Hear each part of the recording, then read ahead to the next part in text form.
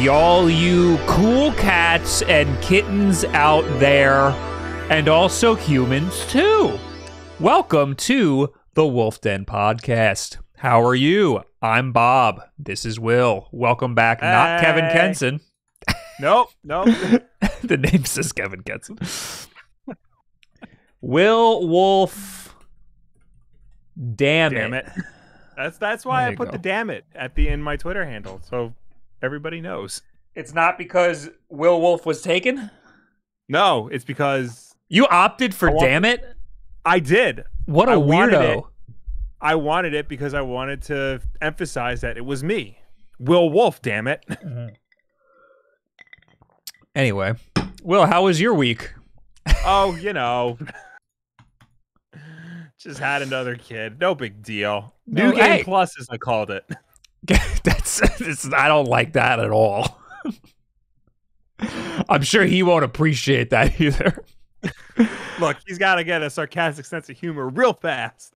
Kevin's in the chat. Hi, Kevin. Sorry, you've been, Kevin. I'm sorry, you've been replaced. You're fired from the podcast. Yeah, sorry. Anyway, uh, I appreciate Kevin coming on last week at such short. I had plenty of time to to to get some to to get Ke- to tell Kevin to come on the podcast. For whatever reason, I waited until Yeah. like an hour before the podcast. Well, I honestly, I had intention intended to make it onto the show, Oh hell, regardless of whether or not you were going to replace, you're going to have a, a substitute on. I would have just popped up on in the Discord, but the problem was they kept us in the hospital for much longer than we needed to be. Mhm. We didn't get home till like six that day, right? and like I was falling asleep by like seven thirty. So Yeah, not uh. I, it- it- listen, you had you had a good excuse. You had a doctor's note. Yes. yeah, Wasn't worth it. Um. Anyway, you're back now. Yay. Yes, I am. And back on the BS, as they say. Yes. I'm realizing now. Where's my? There it is. Just trying to futz with the overlay, guys. We got a lot to talk about today. Um, we got. Uh, I want to talk about all the stuff that we know about the Steam Deck because there's still a lot of Steam Yes. Deck hype going on right now, and uh, there's some new news. And I figured it'd be a great opportunity to round that all up for everybody today. Mhm. Also, uh, some some Sony did Sony did a cool thing yesterday. They did a cool little thing. Sony's little like trick. anything you could do, I can do as well. Not better. Foreshadowing. Not better. I can't do it but better, but I could do it. I can't do it better. Do it. Yeah.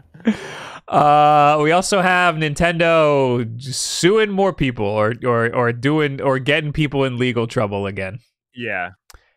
and uh, and Yacht Club for the first time since like 2013. No. 20 Yeah. They have a new IP. It's Yeah. crazy. and it's an internally made it's crazy. Um but first, it's the start of a new month. Happy February everybody. February 1st, which means if you are subscribed to PlayStation Plus or Xbox Live Gold, you got yourself some free games, my friend. So long as you stay subscribed to those uh to those services. Yes, sir. So, starting today on the PlayStation side of things, you get EA Sports UFC 4 on the PlayStation 4. You get Tiny Tina's Assault on Dragon Keep, a Wonderland's one shot adventure on PS4, Okay. and Planet Coaster Console Edition on PS5. Cool. Yes. All right, so look, I mean, well, actually, I think Planet Coaster was like, wasn't it free on like Steam or something for a hot minute? It Something- might have been. It was like it, it was like dirt cheap for a minute. I know a lot of people are Yeah. are down with with a lot of people, especially people who don't play games that much. They play like The Sims and maybe Planet Coaster or or, Yeah. or Roller Coaster Tycoon, which Well, has yeah, turned into say- Planet Coaster. Is it the same franchise or is it is this a I- different thing? I think the people who made Roller Coaster Tycoon made Planet Coaster. Okay. And then they made a new roller coaster tycoon, but it sucked, and like Planet Coaster is like the new Okay. thing. So uh, Got I'm it. not- Got it. It's kind of like I, the way I understand it is it's like Harvest Moon. Okay. How like Harvest Moon isn't cool anymore, but then they like spun off and made their own thing, and like the the the own thing is cool. Well, I think because in Japan it's called something else, and in America it's called it was called Harvest Moon, but then the original company, I forgot I forgot the name. I think it's like Song of Seasons or whatever. yeah, They started releasing it in the U.S. as Song of Seasons, but Natsume, who owns the name Harvest Moon, kept making Harvest Moon games, and they're all bad. yeah. That's yes, yes. My understanding is Planet Coaster shoveled out games that were bad, but the people who made those games made Planet Coaster, and Planet Coaster is good. That's that's my understanding. So Okay. so maybe if you like roller coaster type, if you like murdering people in an amusement park, Yes. maybe you'll enjoy Planet Coaster. If you have PlayStation Plus, you could try it on your PlayStation. It's included in your subscription. yes. Anyway, uh, ugh, cool. All right. Uh, Yeah. Otherwise, I'm not. I'm not thrilled with PlayStation this month. Yeah, Uh, I mean it's it's always weird when a, like a an annualized sports game is included in the uh, yeah. in the lineup. Um, I've heard UFC four is good from people who like UFC games. All three of you. Um, and Tiny Tina's Assault on Dragon Keep is not the new game that's coming out. Okay. I, that confused me yeah, I don't. because you know how yeah So wait, what is it? Is it DLC? it, it- it's like it's standalone DLC for like a past Borderlands game. Oh. Oh, Yeah. so it's not Tiny Tina's standalone game. Okay. Yeah, this is Weird. just like a this is like a spin-off. This is like their version of uh Spider-Man Miles Morales. It's essentially the same game but like a standalone DLC expansion pack. Does that make sense? Yes. No, I understand. It's I'm I'm just I have this face on because it's it's a stupid thing to have in the PlayStation Plus thing. Well, it's probably to generate hype for the game people actually want to play. Wow. I'm so hype. reason. I'm so hyped up. Anyway, on the Xbox side of things, Here we are. Xbox. Not looking much better at all. Actually worse, maybe. uh so for the entire month of February on Xbox One and Series X, you get Broken Sword 5 Serpent's Curse. Uh, and then from February 16th to March 15th, you get Aerial Knights Never Yield. Oh, And wait. on the X- that's a Yes. Weeb game people like. Aerial no, it's not Knights- Weeb. It's not Weeb. No, it's not Weeb. But oh. I did play the I played the demo of it on Switch, and it's very good. Oh no, I didn't like it. That's that What? game. Yeah, that's the game I, I was really interested in. Yeah, I was really interested in that game. I thought it was gonna be good, and I really didn't like the demo. I didn't like it at all. I thought it was cool. I thought it was just a neat. It's it's essentially just an endless runner. Um, Right. but I thought it I thought it did that concept pretty well. I thought it had weird, uh, uh, like uh, like the way it like tries to tell you what button to hit.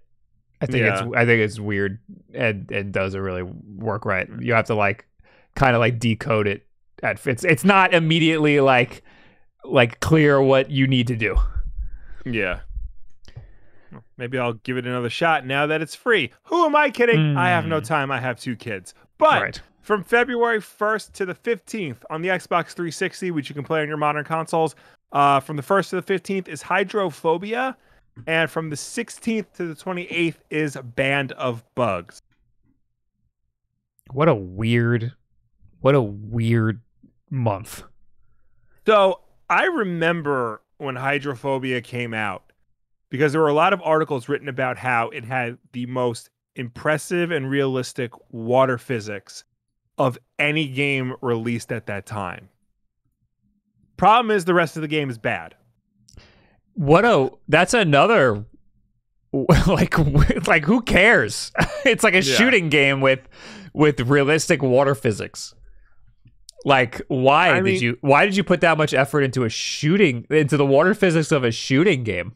Well, clearly they needed something to stand apart in the era of like Gears of War and Max Payne 3 and, you know, shooters that people actually wanted to play. Very um that's very weird. But okay. Cool. Yeah. Good good for you. Unfortunately, you should have put a little more work into the rest of the game. Yeah. Um, all right, so that's all the free stuff you can get if you have PlayStation Plus or Xbox uh, Live. What about Game Pass? Anything new on Game Pass this month?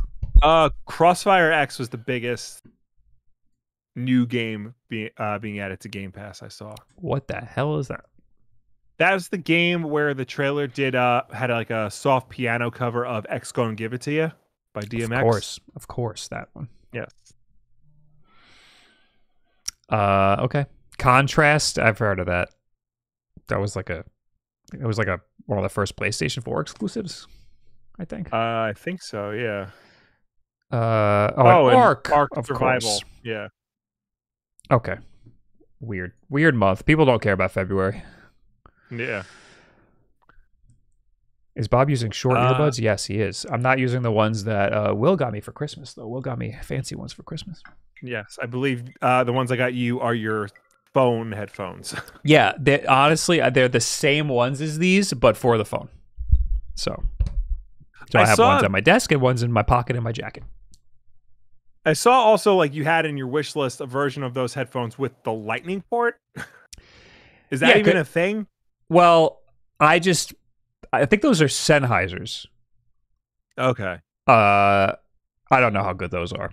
Um, Yeah. but Uh, uh, I just use the adapter. I use the lightning adapter. Yeah, I figured this way you life is totally it for fine. More for more things. I was on the train on Sunday to see you and and your child and your child. Yes. and uh I had a little conundrum. I kind of wa- I this never happens to me, Will. I kind of wanted to play Pokemon. I wanted to play Arceus because Arceus just came out, and I hate. Right, let me tell you something. We're gonna talk about it later.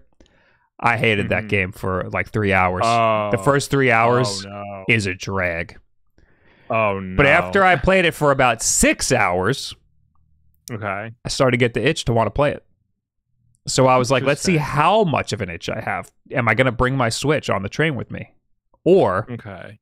am I going to play Genshin Impact on my phone? And I played, uh, what I did, Will, was I played Genshin Impact on my phone. Okay. so Pokemon didn't win out. But you know what? The problem there was the convenience of having the phone. I didn't need to bring the Switch. I just had, I could just do it. I could just play it on my phone. Right. Anyway, that's where I'm at. That's my life. Well, I know you had a lot of exciting things happen, but for me, the Yeah. biggest the biggest controversy in my life was whether or not I was going to bring my Switch on the train. Genshin Impact or Pokemon? It's really tough. It's a really tough Yeah. decision. Oh, I know. Anyway, Believe hey, it. speaking of bringing things, little portable, powerful things, maybe if I had a Steam Deck, the decision would be a little more clear. I could play Genshin Impact on my Steam Deck if I Whoa, mobile hotspot to my phone, maybe. Valve announces launch plans for the Steam Deck. Whoa, here it is. Wow. So we, I want to try to talk about as much as we know about the Steam Deck as possible because that is coming out at the end of the month. Yes. Uh, Valve has announced that the Steam Deck will launch on February 25th. In a blog post, Valve confirmed that those who reserved a unit will receive a confirmation email by, by that day, um, after which they will have 72 hours to purchase the handheld or give it up to the next person. Uh, Wait, the what? Wait, unit- wait, what? I'll read it again. After which they will. A- yeah, no, please, please, please. In a blog post, Mhm. Valve confirmed that those who reserved a unit will receive a confirmation by email that day. On the After 25th. which they have on the 25th. Okay. After which they will have 72 hours to purchase the unit or it will be given up to the next person. Okay, so it's not actually launching on the 25th. It's giving you the opportunity to purchase it on the 25th. Correct. That's this is so annoying. I thought it was coming out the 25th. God. You are you already pre-ordered or, you or reserved it rather, I right? get well, yeah, but like it's I didn't pay it. I didn't pay for the whole thing. I just put my reserve in. I'm I'm in the first wave. okay. I have a content schedule to keep. Do you understand? I look, I understand. Does Valve understand? I That's have the question. I, I had a conversation with my manager because Mhm. I have ads, you know, and I got to put them on certain videos, and some people want to be on certain videos, and I was like, this would be a good, uh, the Steam Deck would be a great video for this, or or I also have this, and I have this, and they're like, okay, what dates? And I was like, I I don't know. I mean, like, they're all they all just say they're coming. None of them have a date. Like, Yeah. so this was before the Steam Deck ha- gave a date. The Steam Deck just gave this date like a few days ago, actually January 26th.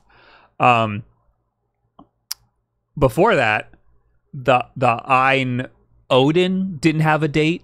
The Steam Deck didn't have a date. Um, what else? I'm getting this this friggin' uh, Aya Neo friggin' Pro, whatever the thing is that Wood made a video on. That I have no idea where that is. Um, the little stupid crank uh oh, gaming the device. Playdate. None of those have dates. Yeah. So I'm just like, I, I, I don't know. Anyway, uh, good to hear that uh, it's on tw- the 25th. We will have the opportunity to purchase. Oh, and then they'll be shipping out the 28th. So, Yeah. Steam. so it's still not gonna. It's gonna be the 28th when it will leave Valve, and then still, who knows when it comes to my door. Steam Decks uh, will begin shipping on February 28th, and more confirmation emails will go out each week. Valve also announced that impressions of the Steam Deck from members of the press will begin will begin to show up soon, and then more wi- widely on February 25th. Oh, my video is gonna be late. Yeah. Damn it. Uh, the Steam Deck was originally planned to release in December, but Valve delayed the launch, citing component manufacturing snafus.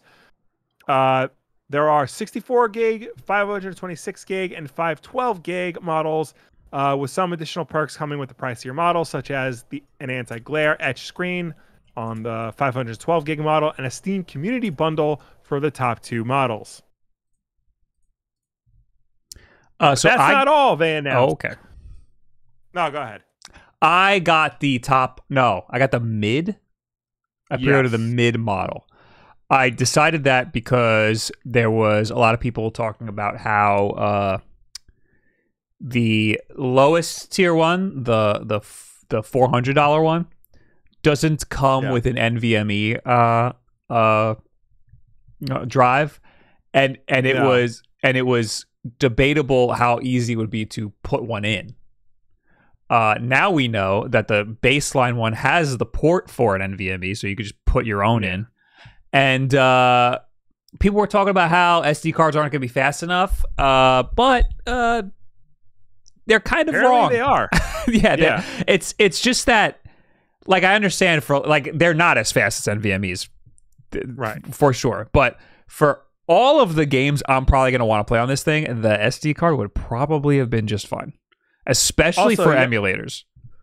also you got to remember like a lot of games on steam were optimized for hard drives like they came out in the hard drive era so whatever you put in there will be fine I mean, the only thing that I think will definitely, be- the only game that I'm going to play that will definitely benefit from the NVMe is Warzone. And I don't even know if that's going to work good on this at all, even with that. So, I mean, otherwise, I probably would have been just fine with the with an SD card.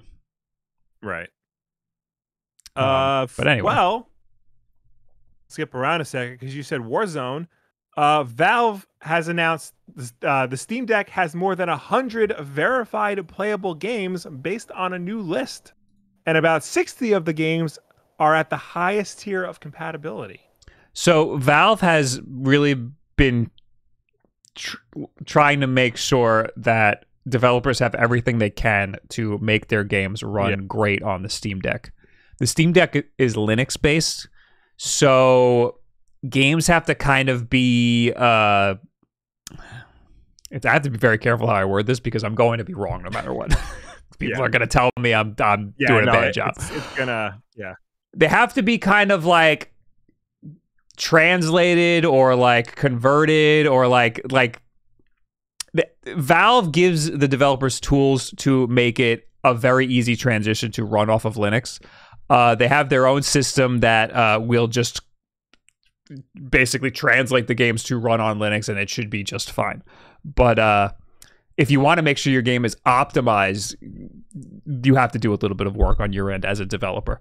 Um, but Valve is trying to make it as easy as possible, and Valve has their own uh, uh, system on on on Steam that says whether or not a game is verified to run on Steam Deck. If it'll run great, and and they have their own sort of tests. So it it the way it works is it'll be verified, meaning it's good to go. It'll be somewhat good to go, meaning like maybe there's a mini game that's not going to work or like a controller situation is like a little weird uh, uh, then it, will say something like kind of works and then there's not yeah. going to work at all if if there's like a game breaking part of the game that that just doesn't translate well yeah. um uh so According to data pulled from Steam user SteamDB over the weekend, Valve has graded 106 games for the Steam Deck for Steam Deck compatibility. While the results aren't available on on the Steam store just yet, you can check out which games will work with your Steam Deck according to this fan curated list, and there's a link uh, in the article. Right.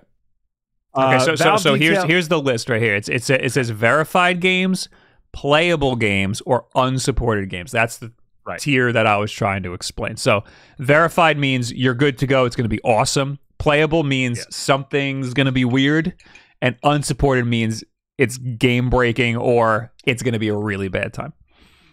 Right now, 60 of the 106 games tested are verified, meaning they should run on the Steam Deck with no adjustments. Some of the some of the highlights are indie gems like Cuphead, Celeste, The Messenger, and Death Door, as well as some more performance-heavy games like Death Stranding, Portal 2, Whoa. Dark Souls 2 and 3, and more. 41 of the games tested were playable, and just five were unsupported. Of the five unsupported games, four are VR titles. So far, this bodes well for the Steam Deck, as nearly every tested game so far will apparently work apparently work well with the system. Uh, let me jump in. There's there's on this fan verified list, there are 258 now. Oh. Uh, and there's a lot of unsupported, but uh, Rainbow Six Siege is unsupported. Oh, wow. anti cheat. So the anti-cheat software on a lot of these games don't translate well to, to Linux, and I that did, might did, that might not be good for Warzone. No, I did hear there's something wrong with like I should have looked that up if there was a, so, a, something. I remember seeing a news article about anti-cheat being a problem for something. Yeah, that's what it is. It, it's it's yeah. uh, doesn't translate well for for for them. Has nobody tried Warzone? What the hell, dude? That's all I care about. What about Genshin Impact? um, so there seems to be a lot of like Hades, Hollow Knight. I mean, obviously that those should be pretty obviously, easy. Yeah, more Genital like jousting. Oh, good. That worked. God of War. God of War is a pretty big deal that that works. Yeah. Uh, uh Death Loop, Dark Souls three uh Dishonored, Death Stranding, Dead Cells, that Celeste, that there's a there's a lot of uh you're gonna have a great time with this thing, it looks like. yeah. All right, so here's what it is. It's um there was an article sometime last week about how the Steam Deck will support Epic's easy anti-cheat system. Okay. But apparently uh it's not as easy as it sounds. like implementing it. Oh, the chat saying Warzone and Genshin are not on Steam. Duh, Bob, oh. dumbass. Oh, because Warzone, you probably have to use Battle.net or whatever stupid. Yeah. Uh, Activision nonsense. Why am I getting this thing then? because Bob, it's the Switch killer. You have to jump yeah. ship, otherwise your channel is dead. So they did say you can put Windows on here, but it's probably going to be a bad time yes. putting Windows on here. Yeah.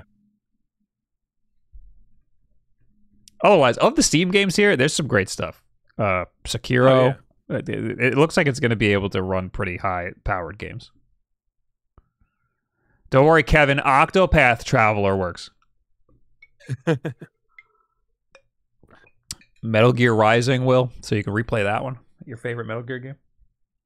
I mean, that's not the worst Metal Gear game. it just might be the stupidest.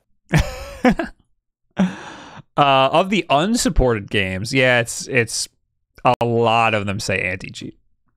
Yeah. Jump Force. that's not an all. That's not even online anymore. They killed that. Rogue Oh, yeah, Company. I for I thought Jump Force was a platformer for a minute. it was that fighting game. Um. So it looks like a lot of the stuff you're going to want to play that's on Steam is going to be just fine. Yeah. Oh, and they do list uh, on the on the uh, playable ones. They list what is a problem. Yeah. Uh, a way out is playable. Controller glyphs match. Oh, that's a big issue. Uh, the controller like like symbols in game when they Yeah. prompt you to press a controller button, that has to match what the Steam Deck has, or else it's gonna be weird. So that will Yeah. qualify as playable if if that doesn't match up right. yeah. Uh, interface text is legible. That means it it might be like uh too small. Mhm. Default con- configuration is performant. First time setup requires active internet connection. That's a pretty. They went really in depth on what is what qualifies as Yeah. playable versus uh, verified.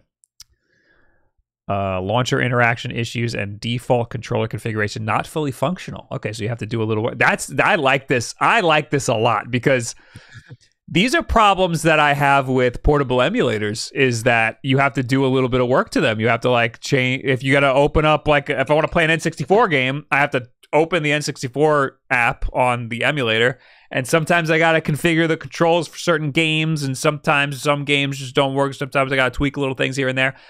So here I'll be able to immediately see if this is going to be playable when I download it or if I got to do some shit. And it'll tell you what shit you got to do.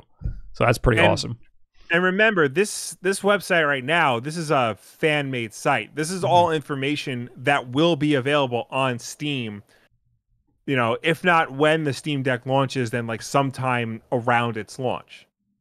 Right. So all the yeah, you won't have to go far looking for this stuff. This will be on Steam. Right, right. Controller glyphs mismatch is a pretty lightweight issue, to be honest. Kind of great to see it addressed anyway. Yeah, but it's enough where like the general consumer needs to know about it. Like, Yeah. Uh, because you know every platform the X button is in a different spot. So like if X gets if X shows up, people are gonna press X. They're not gonna realize why it's not working, and they're gonna just think that their game's broken. So the fact that it tells you that there's a problem there, I think that that's really important. Uh, I think a lot of people thought they could just hook it up and use it as a PC. I wonder how fast there will be a new Steam Deck that can run most games. I mean, this can run most games. This is looking Yeah, pretty awesome like- to me. yeah. It, it's it's not a PC, uh, but it's doing what you would probably want your Steam Deck PC to do anyway. Uh, it is also dockable via USB C, uh, and you can hook up a mouse and keyboard if you want. so you can you can use it uh, like a sort of like a PC. Um, but anyway, uh, oh, and now we have cloud saves. Yes. Uh, I want to go back to the top of the article. Ahead of the Steam Deck's launch, Valve has detailed a new feature for Steam's cloud saves that should carry over your progress to your Steam Deck from your Steam Deck back to your PC or another Ste- or another Steam Deck, even when you put the Steam Deck into suspended mode without fully exiting the game. Valve has talked about this intriguing idea before, but now it has a name: Dynamic Cloud Sync. Here's how it should work. When you put your Steam Deck into sleep mode, Dynamic Cloud Sync will automatically upload all modified uh, save game data to the cloud. Valve explained in a blog post on Monday. Uh, that way, you can that way you can pick up your save when you sit down at your PC or another device with Steam. The Steam Deck will also automatically download save uh, save updates when you wake up the device. This feature sounds very handy, and if it works as advertised, it could make a myriad of mobile promises made by the Steam Deck feel attainable. Uh, seamless cloud saves is something rivals like the Switch have struggled with. That said, Valve says developers will have to manually enable dynamic cloud sync in their games. So it might take time for the feature to be available in some of your favorite titles, and it's guaranteed to require internet connectivity. If Dynamic Cloud Sync isn't enabled, Steam will still track your progress you make on your Steam Deck. However, any user who suspends their deck while while your game is running and then tries to resume that game on a different device will be prompted to first return to their deck to close the pro- the running process or continue without their most recent uh, save game process. Uh, Marlberg in the chat says how hard to get an emulator on there. So it's we don't know until we get it. I don't want to Yeah. say it. It should be pretty easy. Uh, I heard Retro Game Corps talking about how it's it, there's potential that you can just put uh, all your emulation stuff onto an SD card, pop it in, and it'll just open up a whole new OS and do whatever you want. So there's potential that it could be super awesome, but we Yeah. won't know until it gets in our hands. Um. Anyway, uh, it's good to see that this cloud saves, so I can just pick the game up where I left off on a PC. That's pretty cool. Yeah. I'm trying to Yeah, find it. feel Oh, here it is. I just wanted to show real quick uh, comparison between the Steam Deck and the Switch. This is the original Switch. It's a big boy. The Yeah. screen is as big as the whole Switch. Yeah, I think this is just a that's a good remind uh, way to remind people that the Steam Deck is clearly a more enthusiast device, right. uh, and the Switch is more of the everyman device. Uh, Right. You're not going to see Steam Decks out in the wild as much as you're going to see Switches. Um, you know, it, it, it like the Steam Deck really is for the you know the hardcore enthusiast crowd. These are for people who you know play a thousand hours of League of Legends and want to be able to play it on the toilet. You know, that's not the Switch. Yeah, like um the Switch is just going to be it's cheaper and it's going to be much easier for people the the the average Joe to pick up and play whatever game they want to play. Uh, the Steam Deck is an extension of their PC gaming. Uh, Yeah. The chat's yelling at you that League of Legends isn't on Steam. See, we don't know anything about PC Oh, gaming. And this, right. let me tell you, this deal is getting worse and worse. We're finding out all these PC games that we think are going to be great for this thing aren't going to even be on this thing. Listen, for like I don't know, like 20 years or whatever, the the only place to really get games on PC was Steam. Mm. Okay? There were like other stores here and there, like there was EA Origin and Uplay and whatnot, but it all, you know, linked back to Steam to some point. Every game that you wanted to play was on Steam. Nowadays, of course, that's not possible. There's the Epic Store, and there's, you know, like apparently League has their own plays and Battle.net, and all this other crap that I just can't keep up with anymore because I'm too old. This is why I play console games because, like, it's so much simpler. I recently started playing games on PC, and yeah, it is uh, complicated. uh, so I also wanted to uh, take a look at their whole thing about uh, uh, develop their, their whole thing to developers. No porting required. Steam Deck runs Steam OS 3.0, and thanks to Proton, that's the thing that translates the game. Your build will likely work right out of the box. To learn more about how to test your game, make your game even better on deck, or request a developer kit, visit the Steamworks site. Uh, oh, that's all it says. but no, Proton is the thing that should be able to make your game work good on their Linux-based Steam OS. Um, Right. but again, you listen, if you wanted to play League on this thing, you just have to boot Windows on here. And I suspect Yeah. putting Windows on here is going to be pretty easy, but uh you can't expect like your grandma who loves League of Legends to go want to buy this thing and start playing this you know boot Windows and start playing League on it out of here. I suspect that it'd probably still be easier to just get a freaking laptop. And this thing Yeah. ain't that cheap. Uh I mean, four hundred dollars for the base unit, but that thing's not going to be good for throwing Windows on there and playing League. You know, uh, so I don't know. I I feel like uh, for for that sort of advanced stuff, we're gonna have to wait and see. But but for for regular Steam games, it looks like it's gonna be friggin' pretty awesome. As long as you've got Yeah. four to six hundred dollars to burn. Uh, anyway, I also wanted to look at the specs real quick. Uh, it's got a big beefy processor. It's got 16 gigabytes of RAM. The storage is really where uh, the different tiers come in.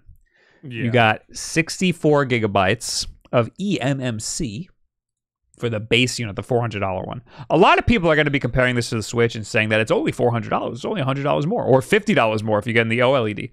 But then you're only going to get 64 gigabytes of regular old storage, yeah. um, which I guess is what the like, Switch has. But For a lot of like a lot of AAA games, 64 gigabytes of storage is one game. yeah, I don't. Uh, I don't even think Hitman Three can fit on the base model. So you get more storage and it's an NVMe drive. So uh, if you go Yeah. up up a tier, so 256 gigabytes is pretty good. Uh, you go up a tier more, it's 512 gigabytes, high speed NVMe. I don't know how much quicker that is, but uh, it also has like an anti-glare screen or like a real glass screen or something. So like the, the screen is a little nicer on like the highest, most expensive one. Yeah, Uh, and I that's think really the the base model important has a plastic screen. Right, right, right.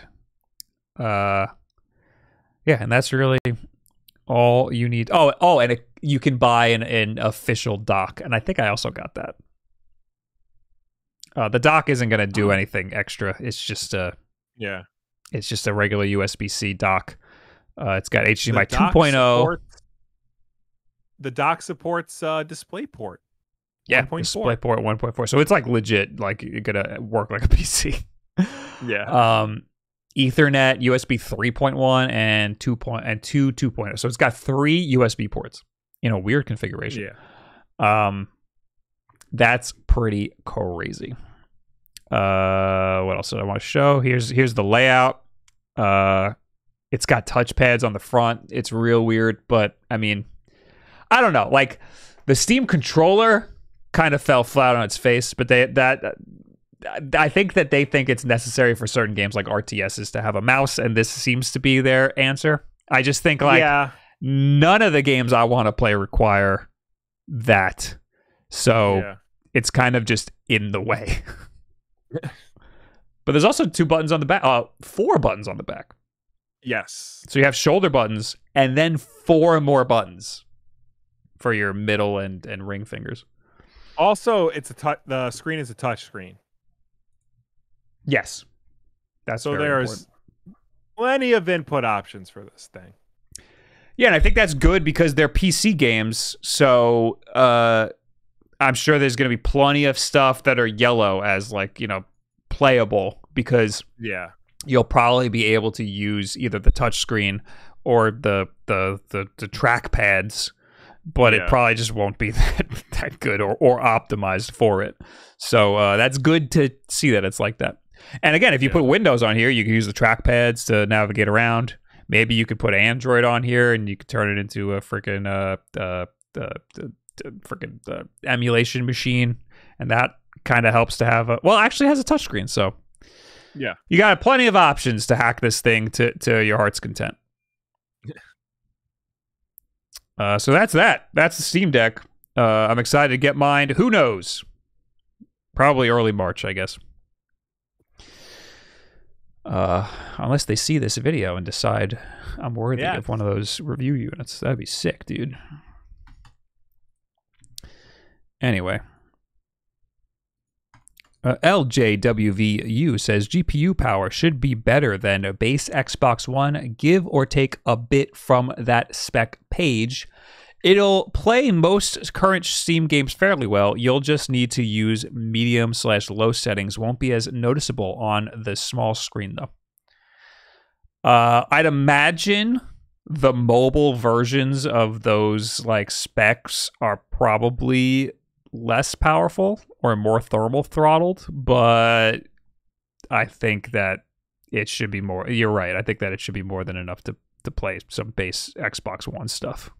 Yeah, and I think most games nowadays, you know, especially PC games with the the amount of customization you can do to the graphical settings, you can get them down pretty low Right. and it should run fine on a system like this. Yeah, yeah, a lot of uh a lot of PC games are meant for all different types of PCs, so they Yeah. they they do bring them down to pretty you can get them down to pretty low graphical settings. Also this screen's 1080p, uh which is which is pretty good. Uh I think it has 4K output if you really wanted to, but it's probably going to be it's you're, not a lot of games are going to be able to do that Yeah.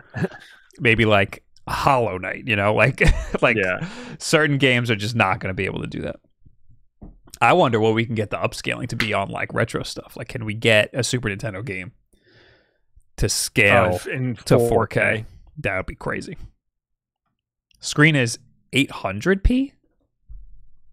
Did I miss a one? Oh, because it's a 16 by 10 aspect ratio, so that changes it a little bit. Well, no, then it should be bigger. Did I not just see it say 1080p? Oh, it's 1280 by 800. 800p. Oh, ah, so it's technically 720, but longer. Wow. Yeah. All right. I'm completely wrong. I think I just saw the 800 and assumed. Yeah, because it's got a 1610 aspect ratio, which I know a lot of like higher end uh, computer monitors are, and a lot of people prefer that. Yeah, that's weird. I don't know. Well, I mean, it is kind of cool to have a wider field of view, Yeah. but uh, uh, well, it would it wouldn't be wide. It's taller. oh, yeah, it doesn't make any sense. Instead of 16.9, it's 1610. Maybe you get more UI. Yeah. Circus says 1080p on a screen that size would be overkill. Well, I got 1080p on my AYN Odin. So shove that, huh? Full review of the AYN Odin coming out hopefully Thursday. uh anyway. 16 by 10 gives you room for your start bar. Yes, I love having my start bar on screen while I'm playing my games. Uh, anyway, uh, let's move on from Steam Deck. That's all your Steam Deck news. Yep. That's all we know about the Steam Deck. Uh, now let's uh, let's let's read some notifications here. Right, we did Yeah. not do that at the top of the show. Nope. Fadud, thanks for the 16 months. R- Royal Egg, thank you for the Prime. Snooze Attacks, thanks for the 100 bits. Seth Films, thanks for the four months. Nyankus, thank you for the 23 months. Almost two years, boys. Almost. Thank you for the almost two years of continuous support. Luke Antone, thanks for the 28 months. When do you think we'll see a new Switch hardware revision? Tomorrow. Mm. you missed it. It was yesterday. Yeah, it happened already. Santa was just he dropped all the presents off, then he left.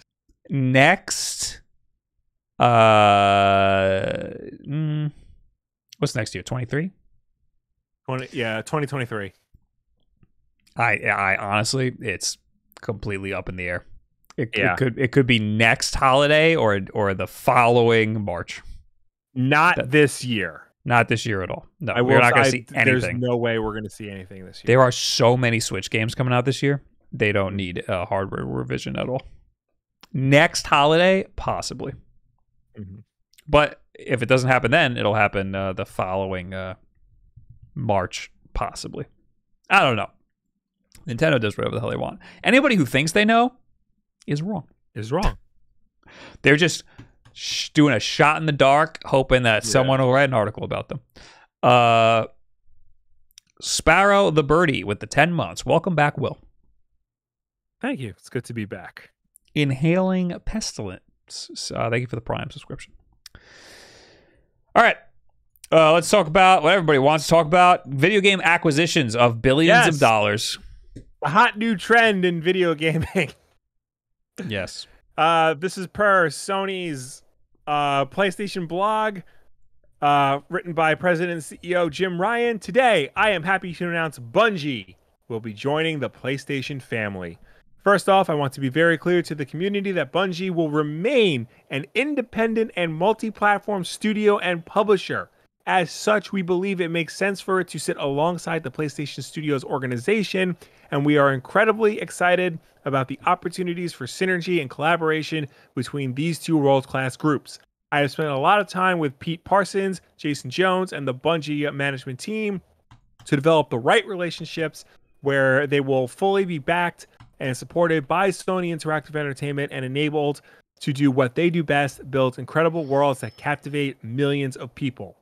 Bungie, Bungie's world class expertise in multi platform development and live game services will help us deliver our vision uh, of expanding PlayStation to hundreds of millions of gamers. Bungie is a great innovator and has developed incredible proprietary tools that will help PlayStation Studios achieve new heights under Hermen Hulst's leadership. So yeah. I used to play a lot of Destiny back in the day. Yes.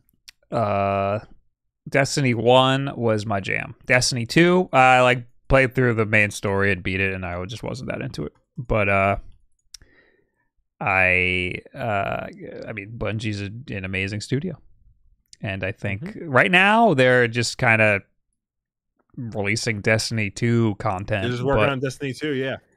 But I think that there's a lot of potential for some great stuff. Um, yeah.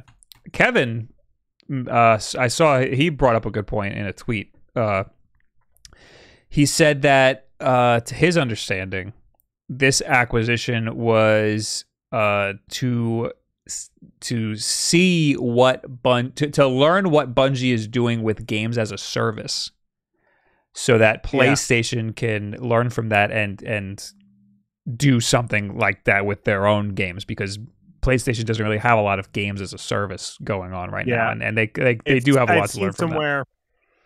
Seen somewhere that this was basically Sony's way of trying to get their own version of Fortnite.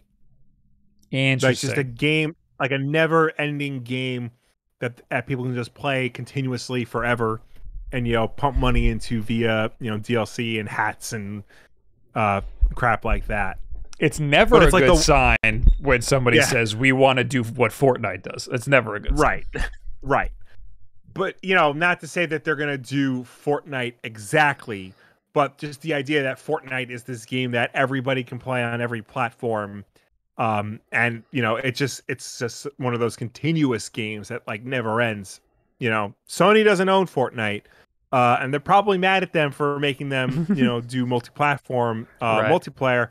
Um, but to get a company like Bungie, who has been doing a live service game for the past, you know, ten years at this point, to have them come into the fold and like teach them how to do one, I think is, you know, beneficial to them if Sony wants to have a slice of that Fortnite pie.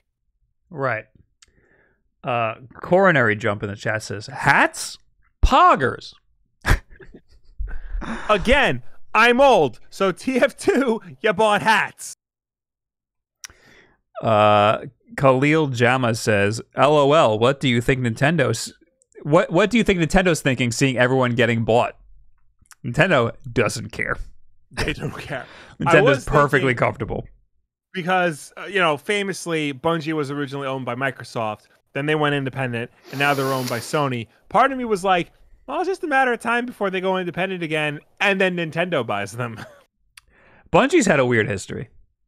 Yes, because Bungie has a weird history of of switching sides in the war.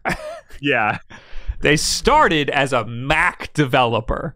Yes, and then and nobody knew about them or cared. And then yeah. they unless they, you play games on the Mac, which nobody did. did. Did they get bought by Microsoft before Halo?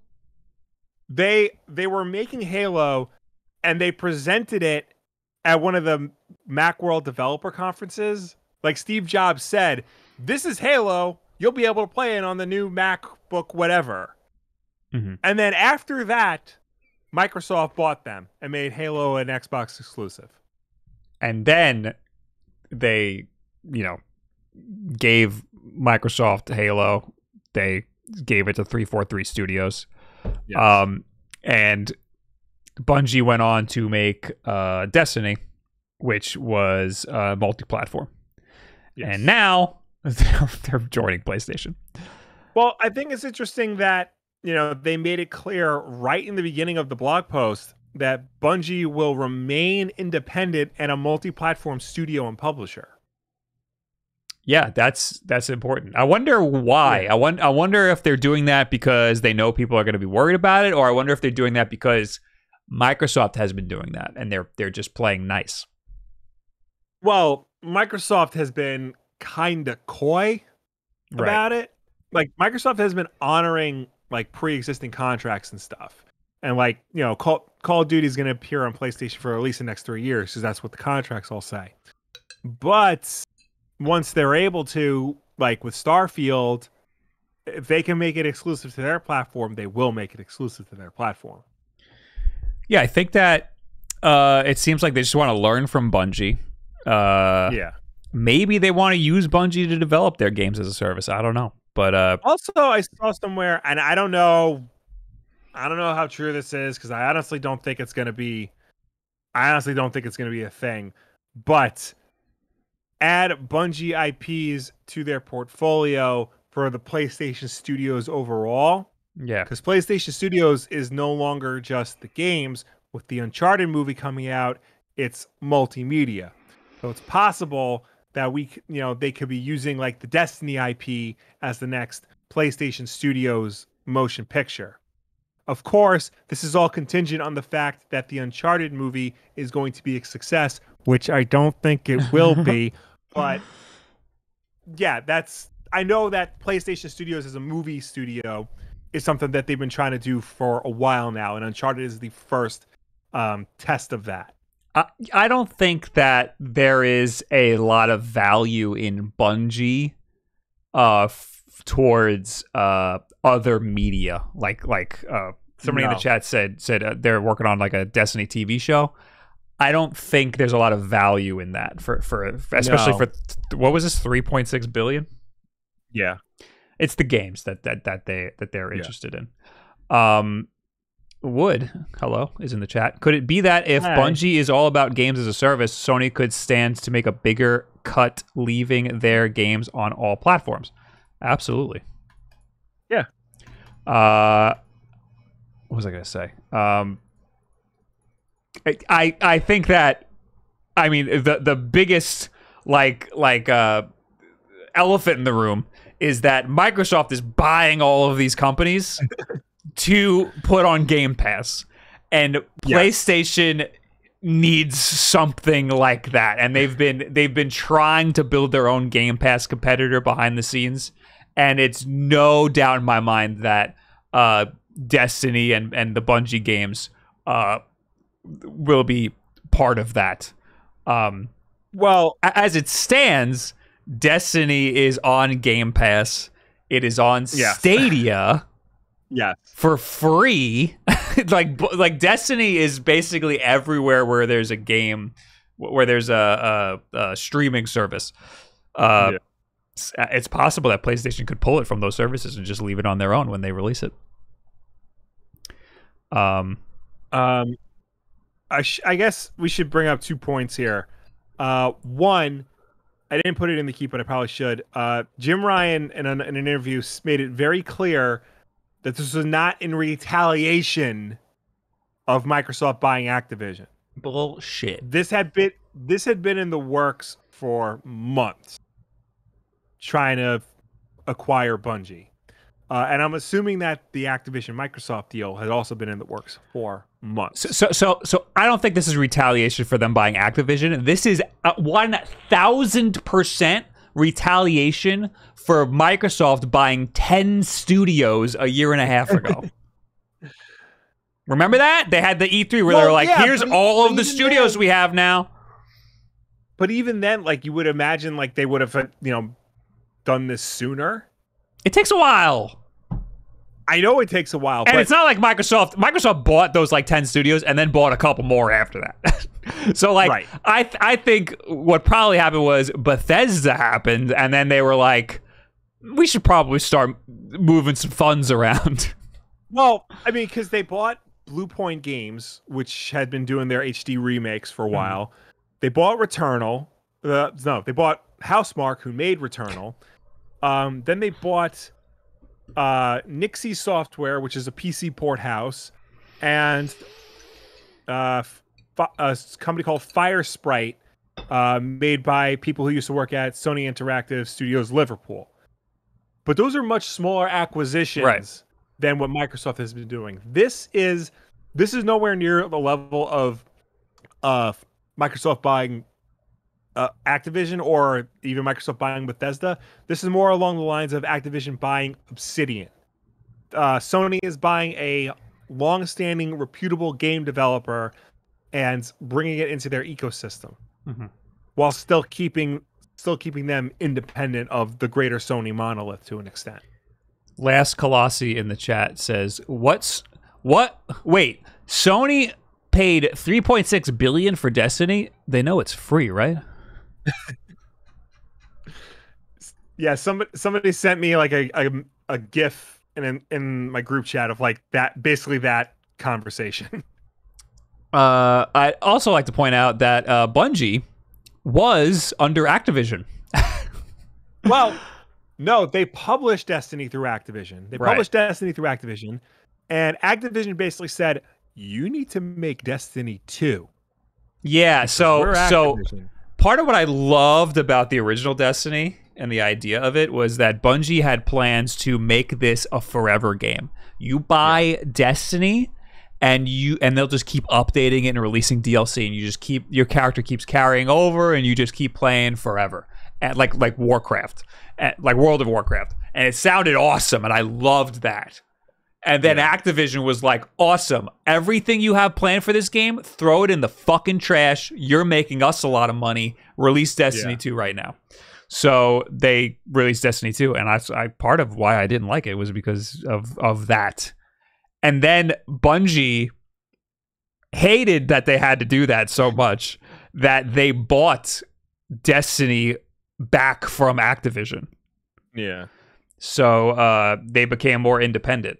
So yeah. Uh, I don't know. I, I don't know uh, what this means for Destiny. I kind of am excited for a Destiny three. I want, uh, or they, they they shouldn't do that. They should make a new Destiny game, but make that one the forever game.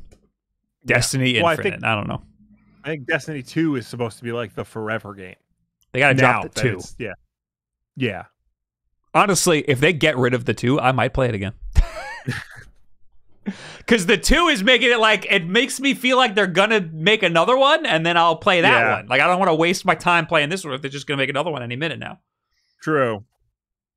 Um, but not only did they buy Bungie, Jim Ryan has confirmed that Sony plans to make more acquisitions. That makes sense. Not just, yeah. Uh, yeah, Sony announced its intentions to buy Halo and Destiny Creator on Monday and confirmed that the studio will continue to create more multi-platform games. This follows this move follows the company's recent acquisitions of Bluepoint, uh, Housemarque, blah blah blah. Like I said before,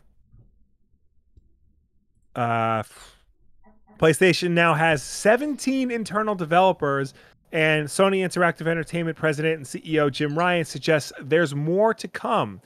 We should absolutely expect more, he told GameIndustry.biz. We are by no means done with PlayStation. We have a long ways to go. He added, I will personally be spending a lot of my time with Pete Parsons, Bungie CEO, and the team at Bungie, helping them make sure that everything that everything bends down right and that autonomy means autonomy. But elsewhere in our organization, we have many more moves to make. Outside of studio acquisitions, Sony has been investing in PS5 exclusives through partnerships with several promising independent studios. Um, Coronary Jump says, any valuable studios left? I saw people on Twitter talking about Konami. Uh, that wouldn't be a company acquisition. That would be an IP acquisition. I don't think anybody wants what Konami has besides their games. Well, I mean that would that would be the equivalent of Activision being bought by Microsoft because it, it's a big company that's having problems and whatnot, and I mean, yeah, Microsoft essentially just bought all of, you know, Activision's IPs. It would be the same thing, but then Sony would be in control of those games and not only be able to put them back out there, but also make new versions of those games. You know, we No. will, we would get a new Castlevania, we would get a new Bomberman and whatnot. It's different because Activision is a game company, and Konami was a game company, Was is now like a yeah. like a gym company and a water company and like a real Yeah. estate company. Like they, And a and a pachinko company, most importantly. Yeah, most of what Konami's value is as a company isn't gaming right now. So, uh, Yeah. it's they're kind of a worthless company besides the IPs that they have. Uh, so yeah. I don't know exactly what it would be worth or what type of deal they would even want to do to to sell a company. But if anybody's going to buy them, it would Yeah. probably be PlayStation. I don't think uh, I don't think Microsoft has has a has leverage there. yeah. Um, but remember those co- cool Konami machines we saw at Screenwave? Yo, Will, I gotta tell you, I went Yeah. and visited Screenwave last Monday. Um, Oh yeah. How was that? they they in the basement they had three pachinko machines. Lord knows why. They had Okay. th- what were they? They had Silent Hill. Uh, I think it was Oh. Castlevania, and they had the Snake Eater one. Oh. Yes. Why are you owing? That's Why fucking they get awesome. I have no idea why they got them. But that's All fucking we wanted awesome. Was a new, a new good Silent Hill, a new good Metal Gear Solid, and Konami was like, no, they're pachinko machines now. you, they basically represent everything Konami now stands for, and everything gamers don't like about Konami. also, Suikoden. Was it Suikoden? I thought it was uh, Silent Hill. Maybe it was Suikoden. I think they own Suikoden though.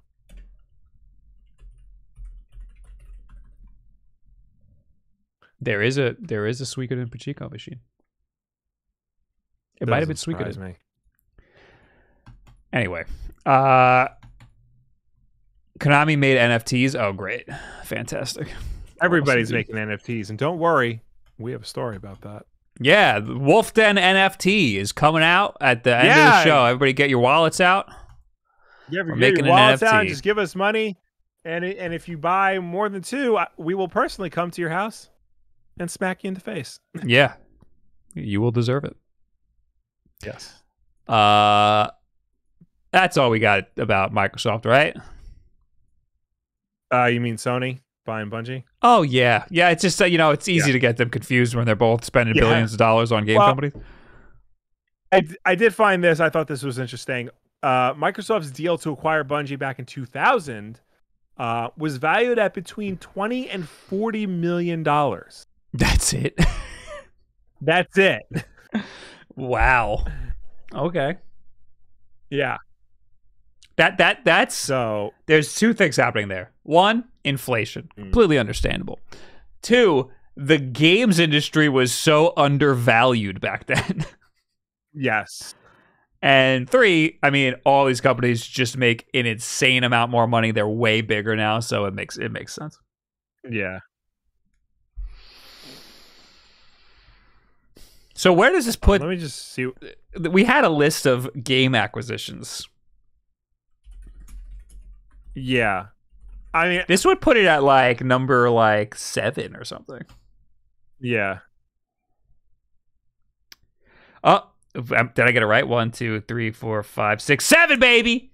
Number seven, Sony Nice. buying Bungie. Right under ByteDance buying Moonton. Yeah. And Activision buying King.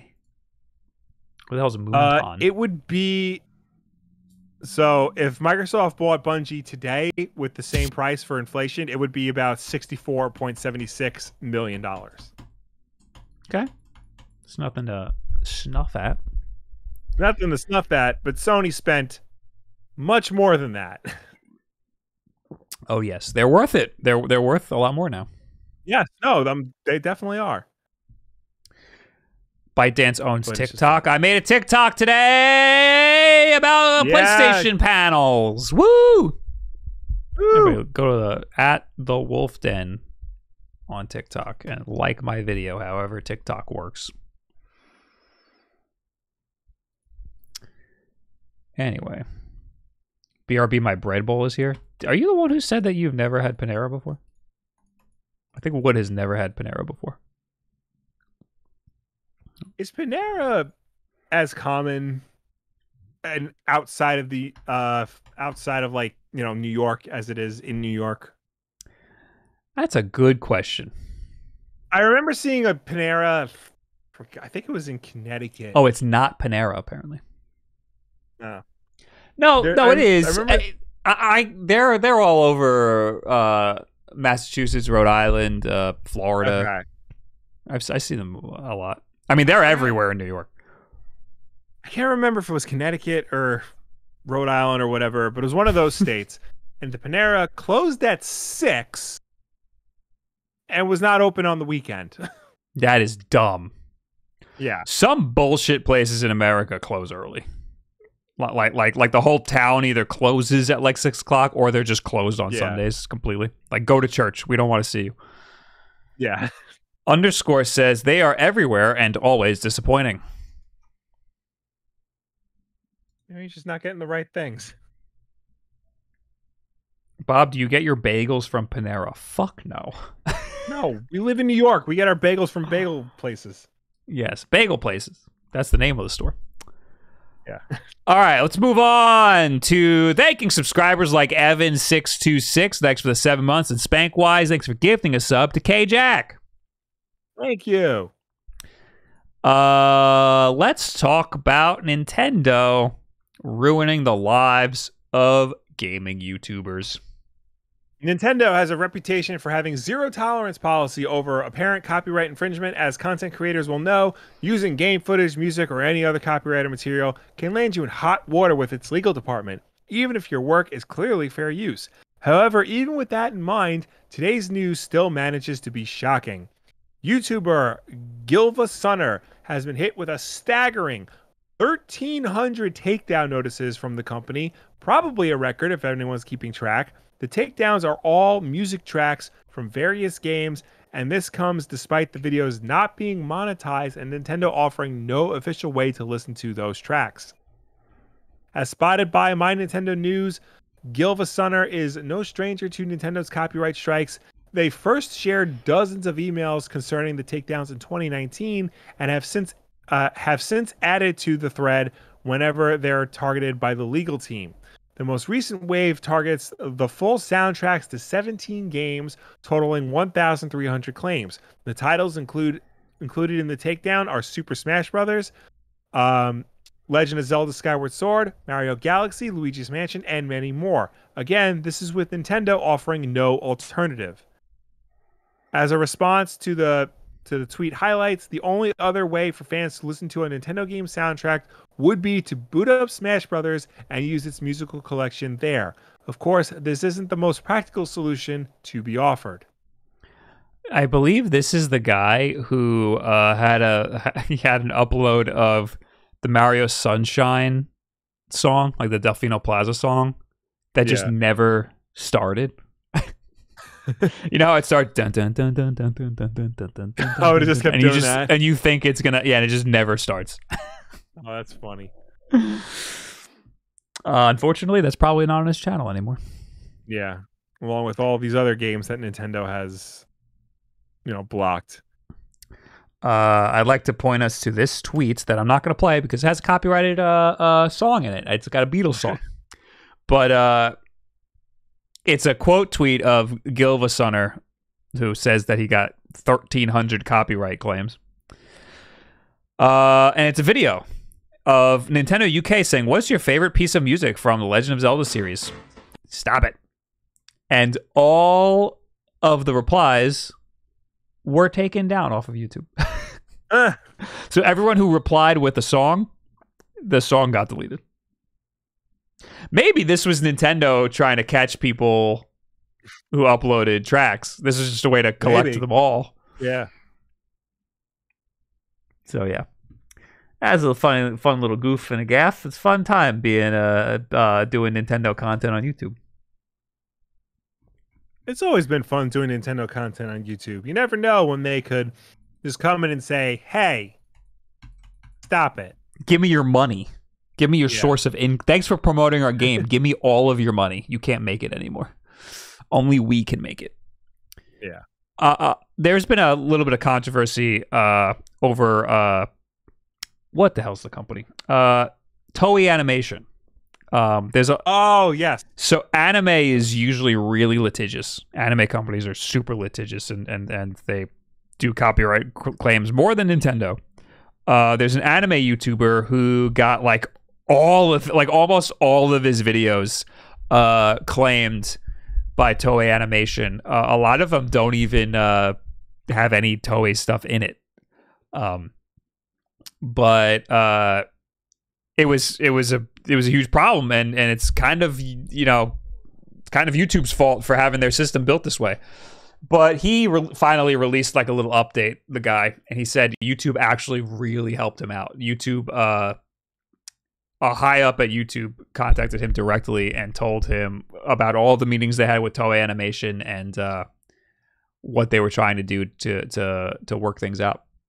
Uh, it just kind of su- like the system is broken and kind of sucks, but uh, yeah, I mean, you have to understand that there are a lot of people who are just uploading anime episodes to YouTube. that Yeah. like that's a thing that happens more than we think. So there does need to be a system in place to cut those out. But unfortunately, that system hurts people also like us. cuts out people. Yeah, um in the Toei animation case, it Japanese law was so bad that uh it could be argued that he was committing copyright infringement, but that's only under Japanese law and the and that the fact that his videos are targeted towards the West or or American audiences, um Yeah. he uh he they they they decided uh they would keep all YouTube decided we're gonna keep all of your videos up everywhere but Japan, and they made like a little exception for him. yeah. Anyway, uh, so yeah, Nintendo. Uh, just if, if you're if you're making content online, don't use Nintendo songs. Just, don't make do Nintendo. Yeah, Yeah. Uh, don't so like I always say that like video game music is relatively safe because uh, I mean we play video games, so like yeah, Uh, if you're gonna play a video game in a video, I mean, the music's gonna be there. yeah. But uh, Nintendo's a little more dicey. Also, I suggest if you're making a video on a Nintendo game at all, uh, or or anything really, uh, if you're using like a trailer, cut that shit up. Like cut it up a lot. Don't Yeah. leave it playing for too long uncut. Uh, so yeah, there's a lot of things that we ha- as creators have to do to kind of skirt around that stuff. We've been Yeah. pretty lucky on the main channel to not have to worry about stuff like that. Even on the clips channel, I never get copyright strikes, but on the whenever I did uh when I used to upload straight up VODs from live streams, almost everyone got claimed. It was terrible. Um anyway. Uh Spoopy Girl, thanks for the 11 months. Woot Wolfden Bros Rock. Thank you so much. Here's a weird one MLB The Show, which is a PlayStation exclusive title. No more. MLB The Show made its debut on Xbox last year and it is now making its way to the Nintendo Switch. MLB The Show 22 will be released on April 5th on PS4, PS5, Nintendo Switch, Xbox One, and Series X and S. This is the first entry in the MLB The Show series for Nintendo's console, and it will include full cross platform progression, cross saves, and online multiplayer between PlayStation, Xbox, and Switch consoles.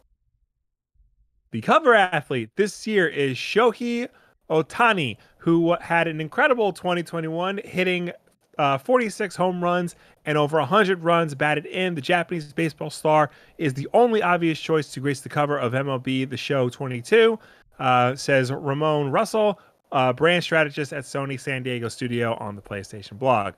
Switch owners will be pleased to hear that MLB The Show is making its way to the Switch, especially after seeing it arrive on Xbox last year and previously needing to play the game on PlayStation for years. This is a very exciting moment for all of us, and as the storied franchise continues to welcome more players.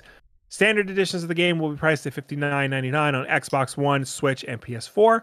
The same standard edition will be priced at six at $69.99 on PS5 and Series X and S. Uh, if you purchase the PS4 edition and plan on upgrading to a PS5, you will need to purchase the digital edition to take advantage of the $10 upgrade offer. So this is a big deal because this game has historically been a PlayStation exclusive. Um, Yeah. Last year it was on Xbox. Last year was on Xbox, and not only that, it was on Game Pass day one. And it looks like this will also this game will also be available on day, Game Pass day one. I one. think the story from that when it moved to Xbox or when it you know launched on Xbox, I think the story from that was that eh, MLB like forced PlayStation to do that. Yeah, because for the longest time there was no multi-platform Major League Baseball game. right. It was just MLB the Show, and I think after a while, Major League Baseball like stepped in and said this should really be more places than just PlayStation. So I think Madden's on everything, um, NBA 2K is on everything, A- NHL is on everything, FIFA's on everything. Why isn't Major League Baseball on everything? I think that PlayStation had uh there was potential that PlayStation might have lost the license if they didn't move it to other Yeah. consoles. So uh I think PlayStation is learning from other companies like Microsoft who Yeah. are cool with multi-platform stuff because they know they're still going to make their money. Like Yeah. the console sales isn't everything. The game sales matters a lot too. Yeah, because historically they take a loss on consoles uh, that are sold because they hope to make it back in games and services. Right. So if they own a bunch of studios or a bunch of Yeah. game IPs that are releasing for other consoles, they're still making money. But at the same time, they're still not as like embracing of it as like Microsoft is, in this in the Right. sense that Microsoft is still doing um, PC and console launch simultaneously. Like Halo Infinite came out on both Xbox and PC on the same day. Same thing with uh, uh, Psychonauts 2 and uh, Sea of Thieves and you know a bunch of other first party Microsoft Studios studio games. Um, Sony has started releasing games on PC, but years after their initial release. Right. So Horizon uh, Horizon Forbidden West is coming soon. Uh, PC players just got Horizon Zero Dawn. God of War just came out, even though Ragnarok is supposed to come out this year. So there's like they're dipping their toes in, but they're not like fully embracing this trend that's happening. This more open multi-platform. it's trend. they're going to be a lot slower to to be accepting of this. yeah, Uh, but I think that it, they're- they're making good progress so far. Yeah. Um. Anyway, uh, we got a new game announcement, boys. yes. Congratulations, everybody! Yacht Yes. Club. Yacht Club. Yacht Club. Mina the Mina the Hollower is a Zelda-like new game from Shovel Knight developers. Shovel Knight developer Yacht Club Games has announced that Mina the Hollower as a gothic action adventure game and Game Boy Color love letter that channels the likes of Legend of Zelda, Castlevania, and Bloodborne. It shared it shared the news as its major announcement during the Yacht Club Games presents at G4. Meanwhile, a Kickstarter page for Mina the Hollower is now live with a goal of uh, $311,503. Gamers have already pledged $100,000, so don't expect it to take long to reach that initial goal. Whereas Shovel Knight was a love letter to the NES era of gaming, Mina the Hollower takes on a Game Boy aesthetic, including taking on a widescreen version of the standard Game Boy resolution. Uh, from the announcement That's trailer, it's easy to see.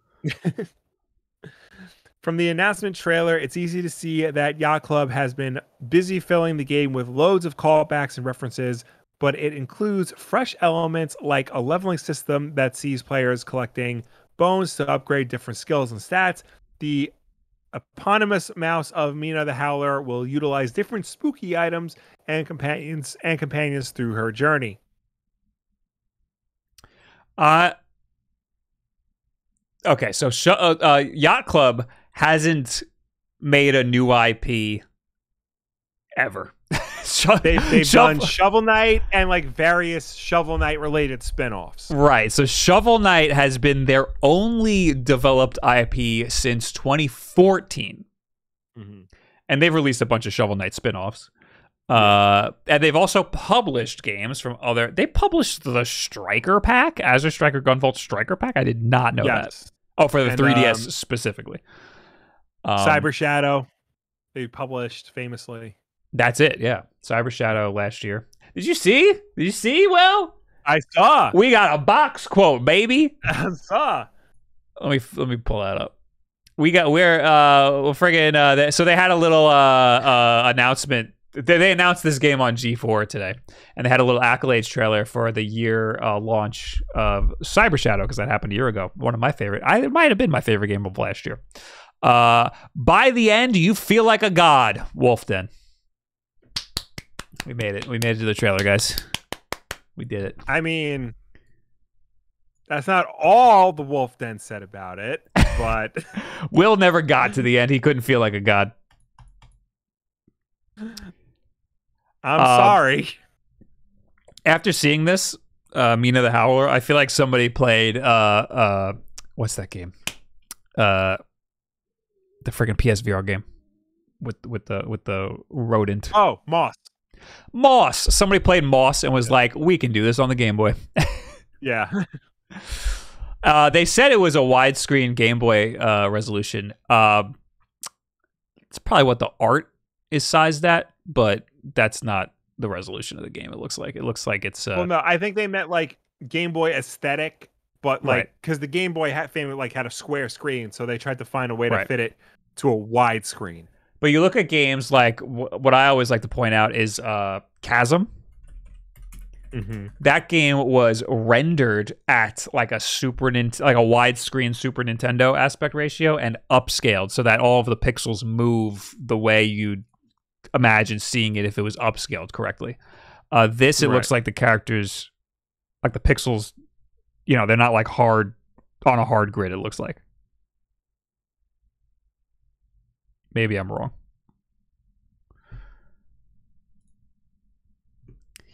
I mean, it Uh, certainly does look like a Game Boy Color game, like much more so than a lot of other games that try I to mean, like, they ape that aesthetic. they nailed the palette. It's beautiful. Yeah. It's a beautiful game still. Uh, Messenger music sounds like it would be on Genesis. See, the Messenger. Well, the Messenger transcends uh, console generations, like Yeah. mid game. Yeah. They challenge someone to port it to Game Boy when it's done, but it's all designed in widescreen, so it would require a mod or rewrite. It's probably not going to fit on a Game Boy cartridge either. They're, they're freaking Probably not. it's tiny. So not a lot of memory on that on that thing. Uh I love the Game Boy aesthetic, obviously. I've been I really Yeah. wanna I don't have I haven't had a lot of time, but I really want to mess around with a GB studio. Um I think there could be some fun stuff going on in there. Yeah. Use one of those SD card Game Boy carts. It's still you would have to like stream the game. It's it's gonna be it's not gonna be Yeah. easy. It, it's not going to be as easy as people think it'll be. I bet people will. I bet there will be people who do oh, it. yeah. but, no, uh, definitely. it's not going to be a one to one. They straight up looked at Link's Awakening and went, "We can do this better." Yeah. I'm I wanted I I want more platformers out of out of Yacht Club. I loved Cyber Shadow. I loved Shovel Knight. Uh, this looks really good. I would have liked a platformer, but I think I'll like this anyway. Uh, Yeah. I did like. Oh, it is platforming! I just saw platforming happen. I'm in. Give, I'll give you all my money. there you go. Uh, I like Link's Awakening. I think I think I'll I'll have a good time with this. We'll see. We'll see when it comes out. When is it coming out? Uh, f- as soon as it reaches its Kickstarter goal. Oh yeah, true. It's a Kickstarter. Not as soon, but like let let them let them hit their Kickstarter goal. I read that they uh that the Kickstarter is one dollar more than what they raise. th- Their asking price is one dollar more than what they made for Shovel Knight. I think. Huh. Um, That would that would make sense. That's why it's such a weird number. yeah, their their their goal is three hundred and eleven thousand five hundred and three dollars, and uh, they're almost there. They're like they're like a third. They're like two thirds of the way there. Yeah, they're two thirds of the way there, Good on them. And it, they just announced it a few hours ago.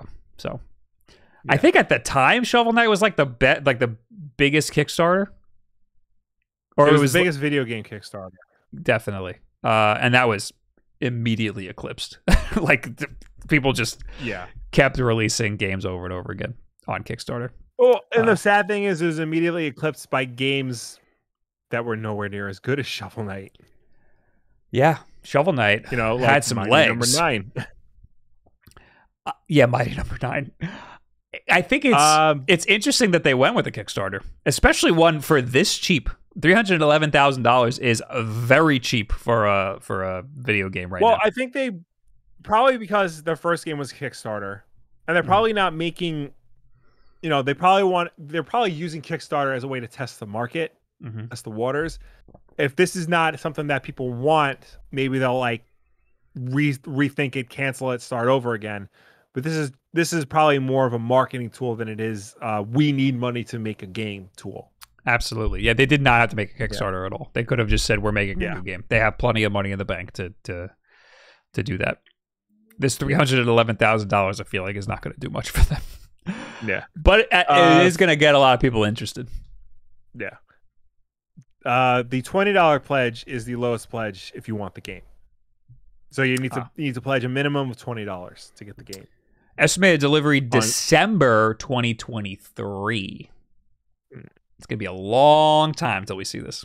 Yeah. And it, it's looking it's looking like they're well into development. It looks pretty damn good Yeah. right now. I don't know. Ooh, a hundred dollars gets you the physical version of the game. That'll be interesting. That's cool. How much? A 100? A hundred. That's a lot for a physical version. Better come with a I bunch mean, of stuff. you, yeah, you get a uh, early access to the soundtrack, uh, access to backer exclusive music live streams, a digital art book, and full access to Yacht Club game design sh- uh, live streams. If you want the physical art book, that's $225. Damn. I do kind of want it, but not for that much. That's too much. If you want your name in the game, it's two hundred dollars. I want my name in the game, Will. Um, Well, I mean, just, just say something nice about it, and you'll you'll get your name in the trailers. that could Um, I'm curious how it's rendered. Now I'm I'm starting to doubt myself about. The, I'm gonna have to like slow down the the video and like see where the pixels line up and stuff. yeah. A friend of mine backed the two hundred fifty dollar tier for the plush. Is the friend named Kevin Kenson?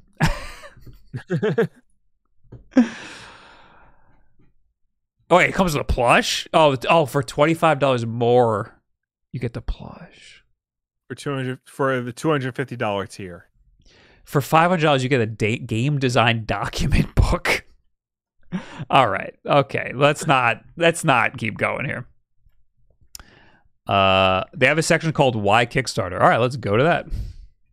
Yo, some of the some of the tiers are already gone. Like there was a seven hundred fifty dollar tier uh, where you can be an NPC director for a day. A thousand dollar tier where you can be an assistant director. Three somebody pledged three thousand dollars to be the games director for a day. How does that work? I don't know. Oh, Imagine I'm delete sorry. everything. I'm sorry. There were three spots for that. so three people spent three thousand dollars to be a director in this game. That's gonna be that would that sounds like a horrible day for the developers. We got Yeah. a new guy coming in for a day. He's gonna ruin everything. Here he is. Here's Joe.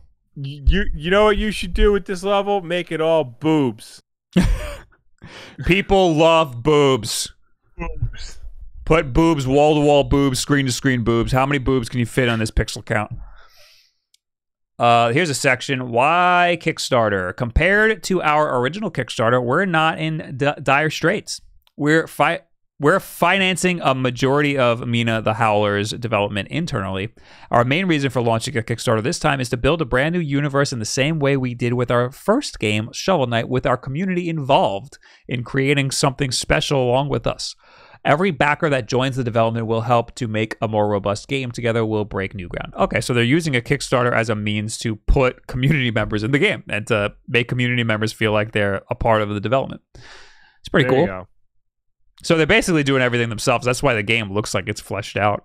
Um, Yeah. they're just using this as a way to get uh, the community members involved, which is a pretty cool idea. All right. That's it for uh, Mina the Hollower. Looks pretty cool. Yeah. Good stuff. I want to briefly talk about Pokemon Legends Arceus Arceus. Ar- I was gonna ask, did we confirm if it's Arceus or Arceus? we confirmed that in Japanese it's Aru Seiyasu. Seiyasu. Okay. Seiyasu. Uh but there's like uh, in the trailer in English they call it Arceus. Right. So you say it however you want to say it, boys. Yeah. Um, it has an 84 on Metacritic. I don't know how I feel about that. I don't know if that's where I I I think I could have guessed it would be around there. Uh, I played it. I'm only about six ish hours in. Why did my mouse stop working? Uh, I don't know. I so I still feel like I barely scratched the surface of the game, even though the game's only like 23 hours long. I do want to play more. I feel like I'm at a good point in the game where I want to, where I actually want to play. Unfortunately, the first three hours of the game is a tutorial, and if you played a Pokemon game before, it fucking sucks having to deal with all that shit again. Oh no. Yeah. Fortunately, this game feels like everything a, a home console Pokemon game should have been on the Wii. Oh, Like this is what they should have been doing then. They're a little oh, behind, Oh, but it's still pretty good. yeah. I feel like the more that I get into now, the more I'm going to like it. It's a rough go at first, though, I have to say. Unless Okay. you just mash through all the tutorial, maybe you'll have a fine time. I watched somebody mash through the tutorial, and then he didn't know what to do at a certain point, and he was just told, like, oh, uh, you're going to battle now, and you have to, you can like move around while you're battling. And then he did it, and everything was fine. He figured it out. Like, I think that this game has a lot of the same flaws that a lot of Pokemon games have. They're not Right. very uh, user friendly. Um, there's a lot of dumb things in it that don't have to be in it, or could be like explained. That could just be like rubbed away, or like like a like a little footnote, um, or like needlessly complicated. Um, Right. fortunately, I mean, I don't know. I don't know if this is fortunate or unfortunate. The game front loads all of that needless bullshit in the first three Okay. hours. Um, and after that, it's kind of good. Uh, so I thought the tutorial was an hour long. I mean, the official tutorial is an hour long, but they keep just giving you bullshit for another hour or two after that. That it doesn't really stop until you fight the first like big gold Pokemon guy, and then the game kind of opens up. It lets you do whatever you want. Yeah. Um, but after you get to that point, it feels like this is what Pokemon games should should be from now on. This is how it it like the mechanics are good, like there and good after a little bit. Right. Um, but again, it feels like this is how Pokemon games should have been when when consoles were an option. So So then, because the mainline Pokemon games have more or less been the same game for the past 25 years or whatnot, right, do you think they will add elements from this into the mainline game? Or, or do you think they'll tr- try to keep them separate? Because to me, I mean, I haven't played it. Maybe you can, you know, uh, answer this. This game looks like it's too different from a mainline Pokemon game. And if they do start making the mainline games like this, it could alienate the fan base that they've been targeting for the past 25 years. So it's so it's pitched as a completely different style of Pokemon game. Right. But when you play it, it feels exactly like a Pokemon game. so like so like the the whole thing that makes it cool and mysterious and new is that you are fighting the Pokemon, right? Right. That's what it looks like. Like in the trailers, you're like dodge rolling away from Pokemon that are attacking you and stuff. In reality, you throw a Pokeball and your Pokemon comes out. You have six Pokemon in your team. You fight them just like you do in a regular Pokemon game. The only difference is you can move around while the Pokemon are fighting. So, Okay. and there's there's not really a lot of trainer battles, but there are trainer battles. So like, um, this could very easily just be how Pokemon games are. From they could easily take elements from this and just put them in regular Pokemon games, and I really hope that they do because it made it made the experience a lot better. Right. Especially after coming out of Pokemon Brilliant Diamond, I thought that the Pokemon battles in that game were so fucking boring and stupid. Being Yeah. in the battle yourself feels awesome. Like that, I think that it's it's really cool in that way. But uh, Yeah. otherwise, uh, there's some other weird stuff that that doesn't make much sense. Like um, the game just kind of opens up and is like, do whatever you want at a certain point, which is like pretty cool. but at the same time, it's like uh, you have like this like list, this like long list of things that you need to do, like these research tasks. Right. And uh, the UI is so bad that like it's not immediately noticeable which ones are important or to do or whatever. The checklist doesn't make any sense.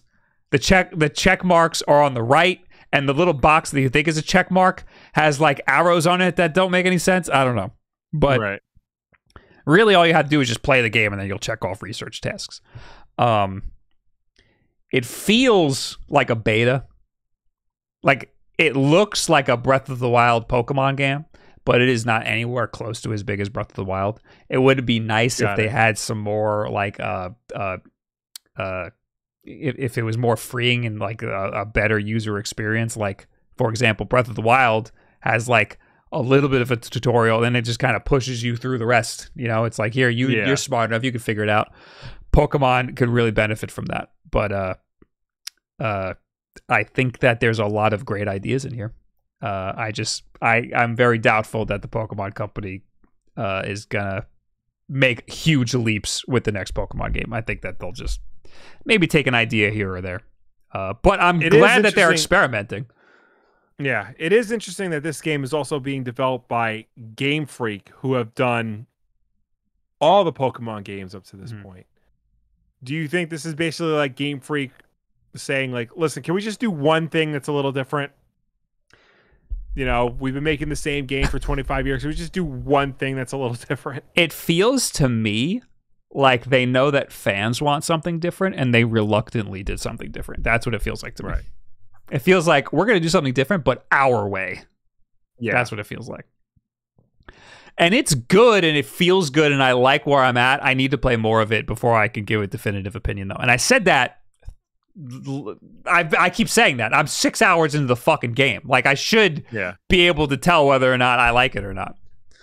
So I don't know. Honestly, though, that's kind of how I felt with Monster Hunter. I played a lot of Monster Hunter, and I still had no idea what I felt about it. so I don't know. I need to play a little more, but uh, people are enjoying it. If you are interested in Pokemon but want something a little different, this this is good if you have three hours to sit through the bullshit. You have to get through that before you get to the good stuff. Right. Anyway, that's my rant about Pokemon Legends Arceus, Arceus, Arc- Arceus. Let's plow through some more news, like, for example, Ubisoft and NFTs. Yeah. Uh, f- last year, Ubisoft announced its first foray into NFTs, Ubisoft Quartz. Um, people didn't like it. Uh, f- where is it? The whole thing was led by Nicholas Proud, uh, VP of Ubisoft Statistics Innovations Lab. Proud has now commented on the backlash to Quartz, finding, uh, telling Finder that I think gamers don't get what a digital secondary market can bring to them. For now, because of the current situation and context of NFTs, gamers really believe it's first destroying the planet and second, just a tool for speculation. But what we are seeing first is the end game. The end game is about giving players the opportunity to resell their items once they've finished with them or they're finished playing the game itself. So it's really for them. It's really beneficial. But they don't but they don't get it for now. Also, this is part of a paradigm shift in gaming. Moving from one economic system to another is not easy to handle. There are a lot of habits you need to go against and a lot of your ingrained mindset you have to shift. It takes time. We know that. Uh, even if we give Proud the benefit of the doubt and try to understand the Ubisoft pitch, the problem remains that there are just doesn't seem to be much there, much here to grasp. One of Proud's key arguments is that is about decentralization and how it could potentially change what a game is. I'm sorry, as I I know it's difficult to understand right now, as this is kind of an idea that doesn't really exist yet. But we see that the ec- ecosystem for a game can be much much bigger than what a game is today in terms of value creation for everyone. This is, of course, uh, this of course is leading to the concept of play to earn, something that many feel well, an instinctive revulsion towards. Games are surely about having fun and being entertained, and an escape from the actual world of having to make rent and have a job. uh, there's the fun, of course, says Proud uh, the pleasure you take by just playing. There is the fact that you can learn things. For instance, in Assassin's Creed, you can learn about history, and we work on experience on experiments in old games when you could learn new soft skills. So a game can be a lot of things and can bring a lot of things to players. Adding a real world value reward might be the next addition on top of all the value a game already offers. I I uh, we we don't have to we don't have to the keep whole going, fucking yeah. article. It's stupid anyway. The point is, the point is, we, NFTs are not the problem. We're the problem. Yes, the whole time it was us. Uh, so here's something that I don't understand about NFTs. What I think, to to my understanding of NFTs, uh, in order to put something onto the blockchain, you need uh, Ethereum or or or or a cryptocurrency to to Yes. attach it to. Yes. Yes. So how the fuck is that gonna like if if I get a helmet in a game, like I'm not gonna get that helmet. I have to purchase that helmet. You have to purchase the helmet. You need to have like crypto in order to do it. Um, and it's I think you need to. It's it's going to be tied to you, regardless. Even if you sell, even if you do theoretically sell it, it like there's it the system's still going to know that you owned it at one point. So so so this so this is just microtransactions times 10. yeah, this is microtransactions the next generation. like like like in the past microtransactions we've been able to like explain away microtransactions or like been, be okay with microtransactions if some of them are uh if you can uh, acquire them in the game through gameplay If you can acquire them in the game, and if if the ability to acquire them in the game is not, you know, ex, you know, unnecessarily difficult, Mhm. or if the payment for it is reasonable. yeah You so know, like so like you need to you need to spend hundred hours in Battlefront in order to play as Darth Vader is not reasonable. right and, and in this case you physically can't get one of these in-game items because it needs to be tied to real cryptocurrency or money i i mean Correct. uh, there needs somebody needs to back it in some way. Yeah. And I, I doubt Ubisoft's going to bankroll all of these NFTs to like give to people. You know, like you're going to Yeah. have to pay for it. It, it's Um, really it's really more of a way for like them to generate money off of you. Right. You Yes, know, exactly. that that's all it is. There there is no benefit for you as a gamer to owning an NFT. The, i- It's in, really the in the just for the warped minds, created- in the warped minds of these crypto bros, you Yes. generate profits when you have the NFT because if it's sold and keeps getting sold, you keep making money. But that is Right. exactly what a pyramid scheme is. Yes. That's it's like you're doing multi-level marketing. It's the same fucking thing. Yeah. Yeah. So it's not that we don't understand. We understand. We don't want it in our games th- or th- in th- anything. there are people who are going to benefit greatly from something like this, but they're going to be few and far between, and it's not going to be worth it for the vast majority of people. It's going to fuck Mhm. over a lot of people. So uh, it's very dumb. Also, what they seem to be leaving out of this is that they could just do all this without NFTs. They could just fucking Yes. do it. Just do it. Just let us trade in game items and sell them and stuff without the NFT part. Yeah. You already have that in other games. You don't got to do all this. We get it. Yeah. We've done it before. We've had hats. Give us the hats the way that we've had the hats. Thank you for coming to my TED Talk. I highly recommend if anybody uh, wants to know more about why this is a scam. Uh, Dan Olson of the channel Folding Ideas did a two-hour video breaking down the problem with NFTs, and if you have the time, I highly recommend you watch it because it is Mhm. the most informative and the most depressing look at NFTs you will find. Now, I don't have any extensive knowledge in crypto or NFTs or any of that, so so Right. uh, you know, take what I say with a grain of salt. But my understanding of crypto, I have very little money in, in crypto. But my understanding of crypto is that uh, it seems impossible for there to be a new cryptocurrency that isn't a pyramid scheme. I feel like all of the new cryptos that have come out in the past couple of years are just dudes trying to make money off of other dudes Yeah. the only ones that I think have any value are the ones that came out when Bitcoin happened and everything immediately after that that tried to like do Bitcoin but better. And everything after that is just people trying to pump and dump. Well, Um, yeah, like everybody who like made money off of it were people who got in on the ground floor. Now they're just trying to sucker you Right. into getting in too late. There's Yeah. no way for you to make money on Bitcoin or NFTs right now because everybody who did is or is already there. Yeah, and, and it's and even even the old stuff like Bitcoin and, and Ethereum and and stuff like that. Uh, it's all it's all so variable. Is it's not anybody who says you're going to make any money doesn't is is only out for themselves. They they don't give a shit about you. Yeah. Um, I mean, it's possible you can make money, but uh, it's po- it's also possible you can lose all of your money. So uh, it's Yeah. gambling. You're gambling with all this stuff. Yeah, that's, that's what it is. It's it's gambling. Uh, I'm gonna save that video that you just put in the chat for later. Again, it, it's two hours, but Holy it is shit!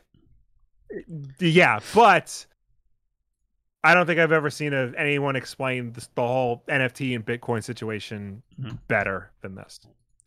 All right, let's plot through some more. Horizon Forbidden West reuses animation. This was a big controversy. So, yeah. So just to sum it up, uh, somebody on Twitter got really mad because IGN showed uh, gameplay comparisons of Horizon, the new Horizon game, Horizon Forbidden West, and the previous game, Horizon Zero Dawn, and somebody noticed that um, Forbidden West is reusing animation from Zero Dawn.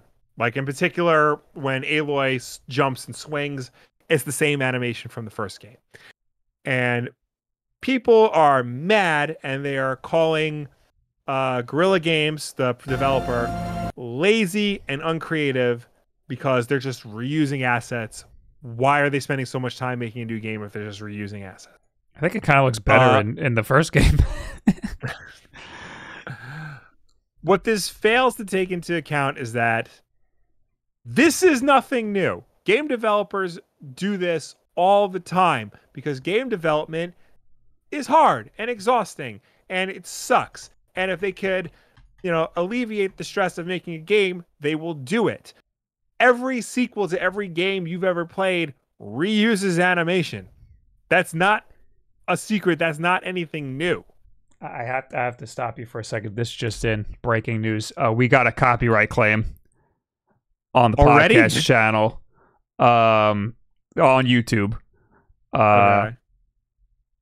Oh, it's from an old uh, live stream where I played uh, DMCA Royale, which is Mario Royale.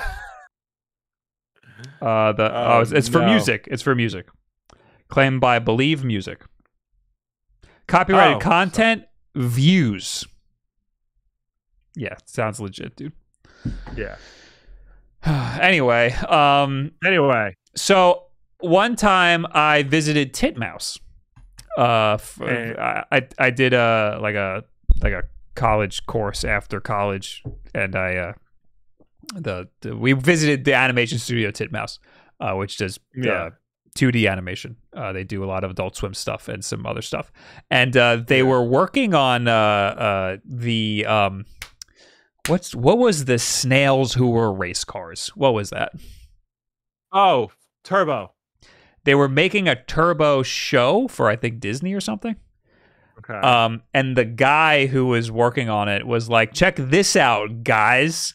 Um, here is uh, uh here's a, a an animation of Turbo uh saying something like excitedly." And I took that and I pasted it into this scene where he's saying yay and it's the same fucking thing. Sometimes you just got to make your life a lot easier. So, yeah. uh, yes, they're always going to copy and paste stuff. Uh, a lot of uh, what you see is rehashed, and you have no idea that it's like that. In the te- in terms of video games, when they make a sequel, they already have a baseline. So yeah. ho- the hope is that they can reuse a lot of stuff to make the game exponentially better. They can just build off of Yeah. what they already have and spend a lot of time making it that much better.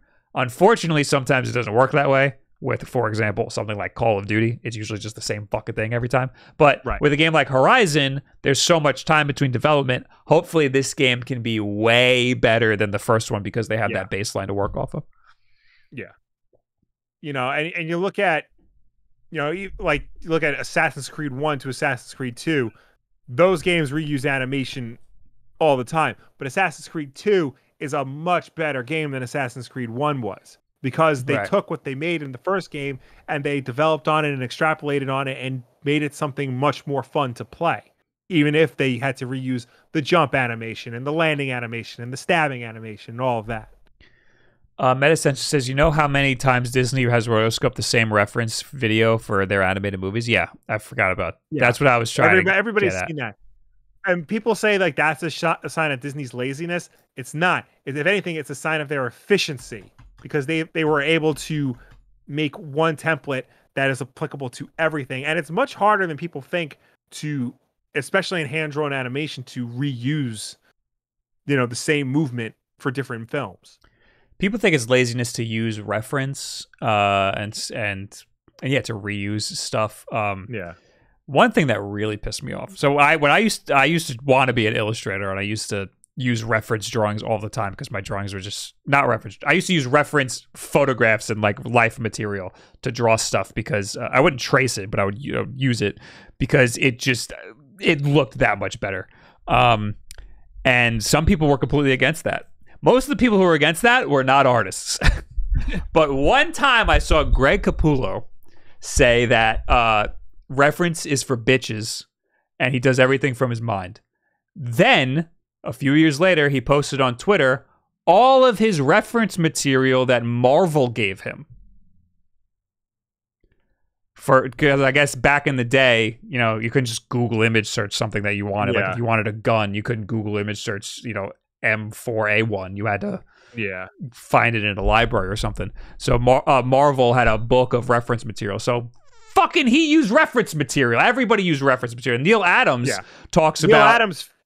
Yeah, Yeah. he was on Kevin Smith's podcast and he said, "Everyone will tell you, oh, you don't trace, never trace. Everyone fucking traces. They trace all the time. It's what we do." Yeah, and he showed like some of his famous uh, Batman covers were were, were Yeah. just straight up traced from stuff. Yeah. And you can see it. You Neal can see a, a lot of famous comic book uh, uh, like images. Uh, people find the reference material, and and Yeah. uh, yeah, Neal Adams also thinks the center of the Earth is hollow, but that's a different story. That's a Uh, different story. We don't got to talk about that. Instead, we could talk about Star Wars 1313 footage. I always love seeing new stuff from this game because I am so upset Yes. that this game didn't Uh, happen. so basically, after you know everybody, everyone's currently watching the Book of Boba Fett and thinks it's fine. Uh, and in celebration of that, uh, a developer who worked on 1313 showed off some uh, unreleased footage of the game. Uh, and it really does look like Star Wars Uncharted, but it looks so cool. We might get uh, taken down for this, but I'm playing it anyway. I want to see this. Do it. Yeah. So this was like the gritty rated M Star Wars game before the Disney Yeah. acquisition, and then that happened and Yes. it got canned. Um, there's some concept art for this game in one of the art books that I have that like uh, isn't really published anywhere else. Um, Mhm.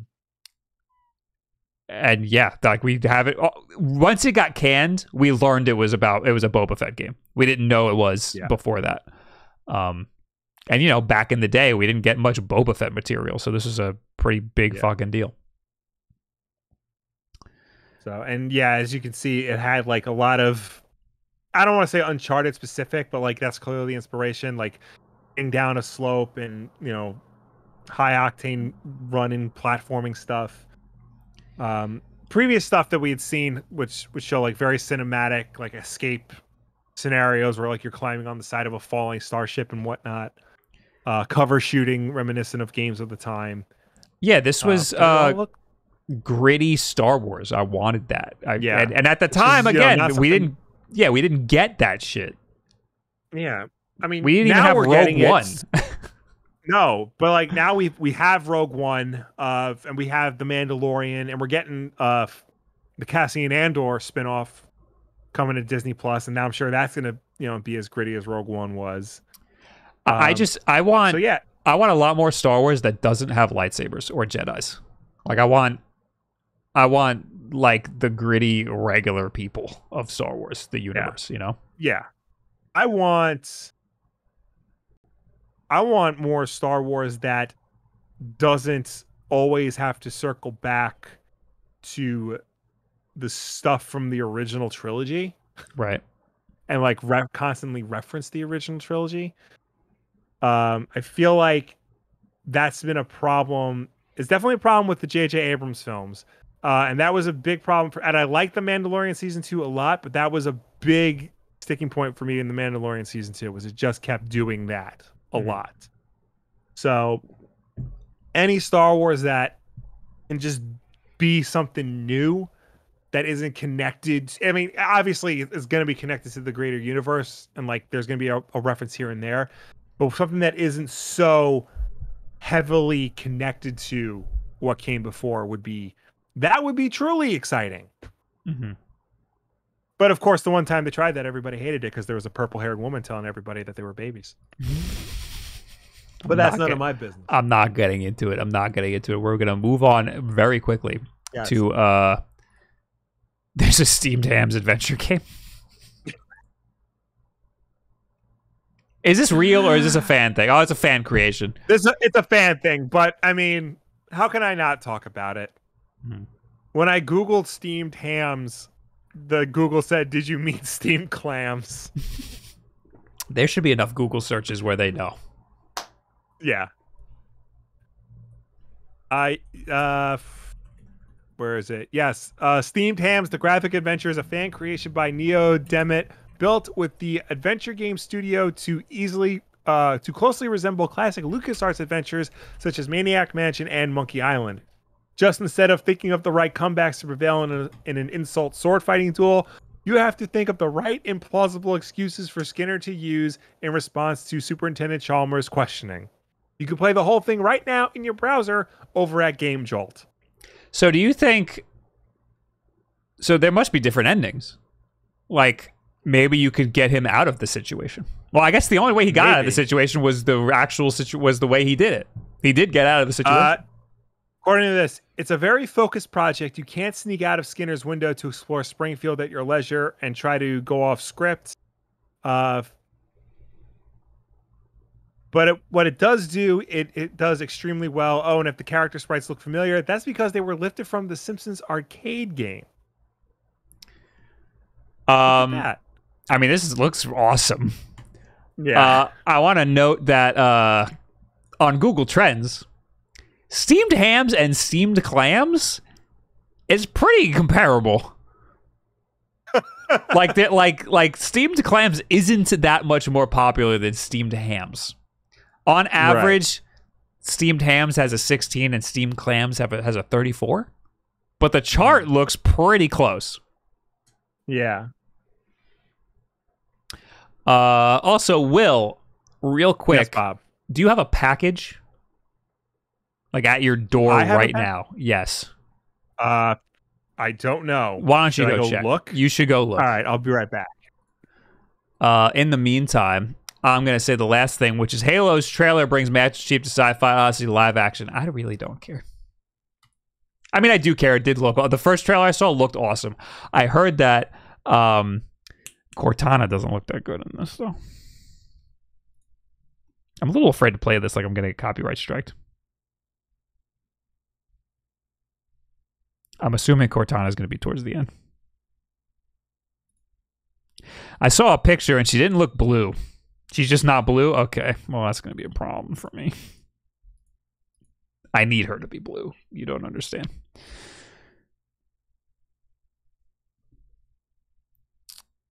Uh, can Kevin Kenson confirm whether he is in the new Pokemon game? Oh, what? Oh, because he's got a. There's a guy with a beanie. Because every man with a beanie is Kevin Kenson. Where I didn't see Cortana. Probably because I skipped through the whole damn thing. I mean, it looks pretty cool. Will did get a package. We're up to the Halo trailer. Yeah, I kind of just skimmed through it. What do you think about Cortana not being blue? I don't care. I mean, that's the same actress from the games. My biggest criticism about this about it is that it looks like a TV show, Yeah, it kind of does. and I think I'm I think I'm spoiled from like high quality stuff. Like I didn't watch Game of Thrones, but like I've seen enough of it. Like it didn't. It looked like a movie. Same thing with like you know Disney Plus's stuff and Netflix's Right. stuff. You know the quality of TV, of high concept TV shows is getting much better. And while the Master Chief suit looks impressive and whatnot, this looks like nothing too dissimilar from like a late '90s Star Trek show. You're right. It does look a little weird. Hopefully, it's good enough besides that where the budget could be a little higher next time. Yeah, yeah. Uh, so there was a package outside my door. It was uh, it's from Kevin. Not sure what this is. It is an Xbox controller box. Oh,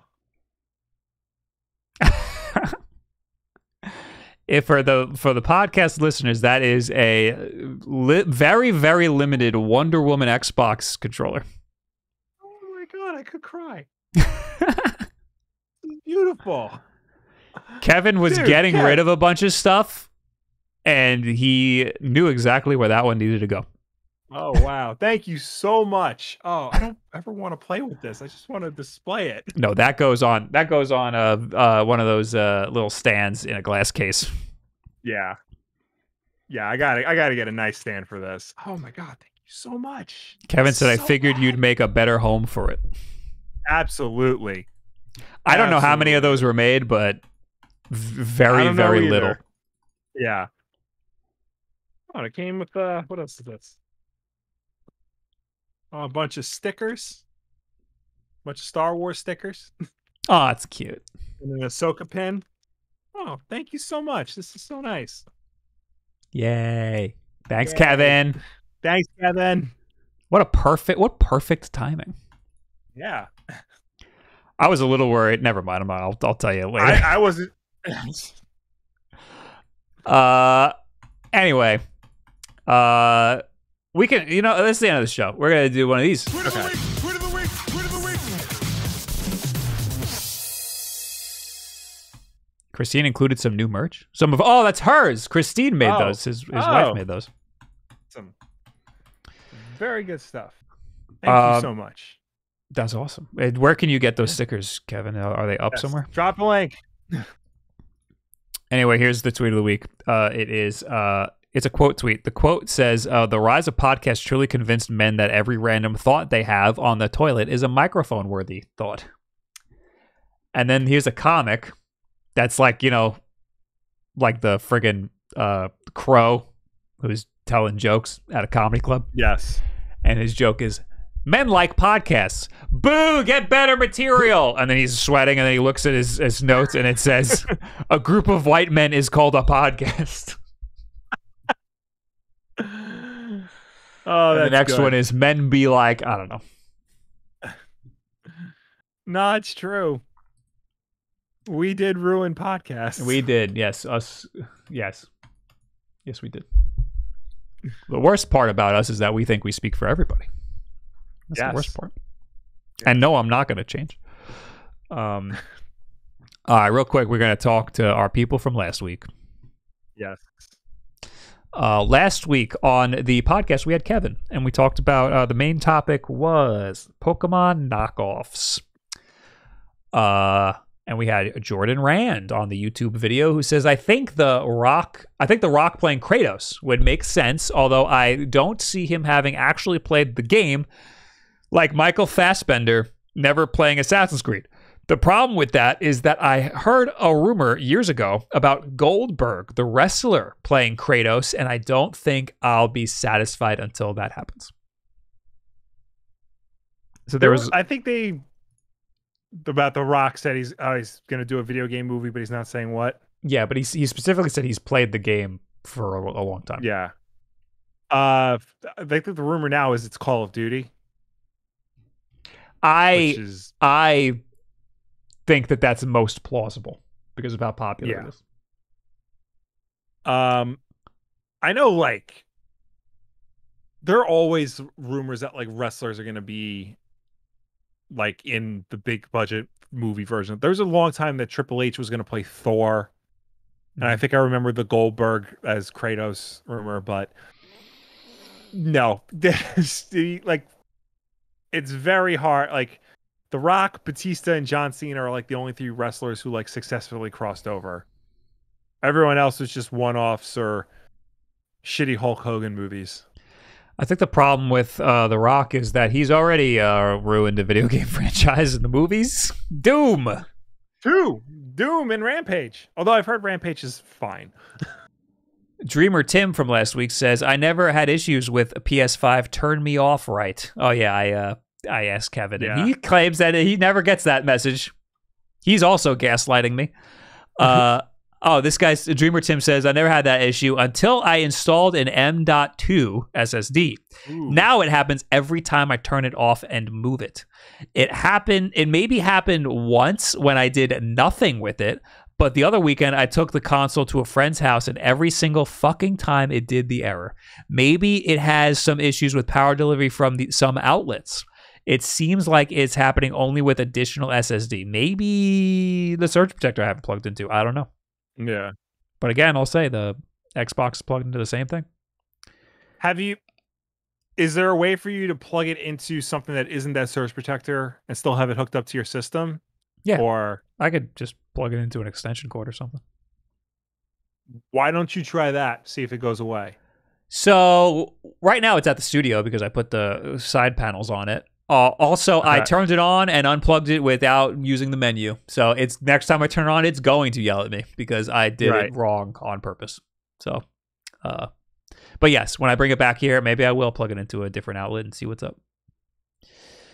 Oh, Kevin linked uh, in the chat uh, Christine's uh, website where you can get these lovely stickers. Yeah. here it is. Everybody go buy things and send her Everybody money. go buy things. They're they're not expensive at all. Uh, anyway, uh, Patrick House says The Rock is gonna be Koopa Troopa in the Mario movie. Changed my mind.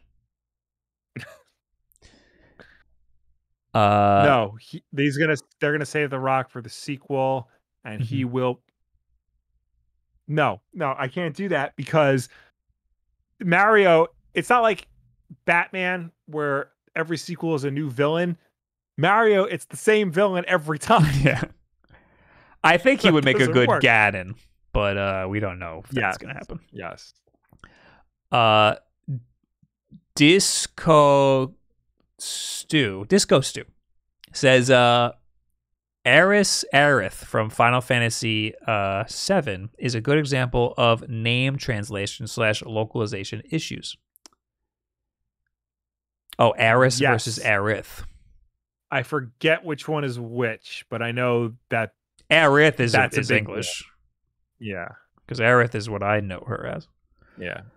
Uh, Shane Martin says the mental image of Bob skipping out of a store after being validated on his enunciation of Mario. Okay, so last Monday I was in Pennsylvania and I went to a retro game store and they were talking about how to pronounce Mario and they were all saying that they say Mario. Right. But to be fair, one of the guys behind the counter was like a 60 year old like man who sounded like uh you know like a like a New York guy. Um, but I did feel validated and I did skip out of that store. Anyway, we'll move to the chat now very briefly. I have to Yeah. pee very bad, just like every podcast. Um, sa- s- uh, s- sor- sorry, I'm stroking out already. Aeris uh, was OG English localization. Really? Aerith is remake official globally. I've only ever heard Aerith.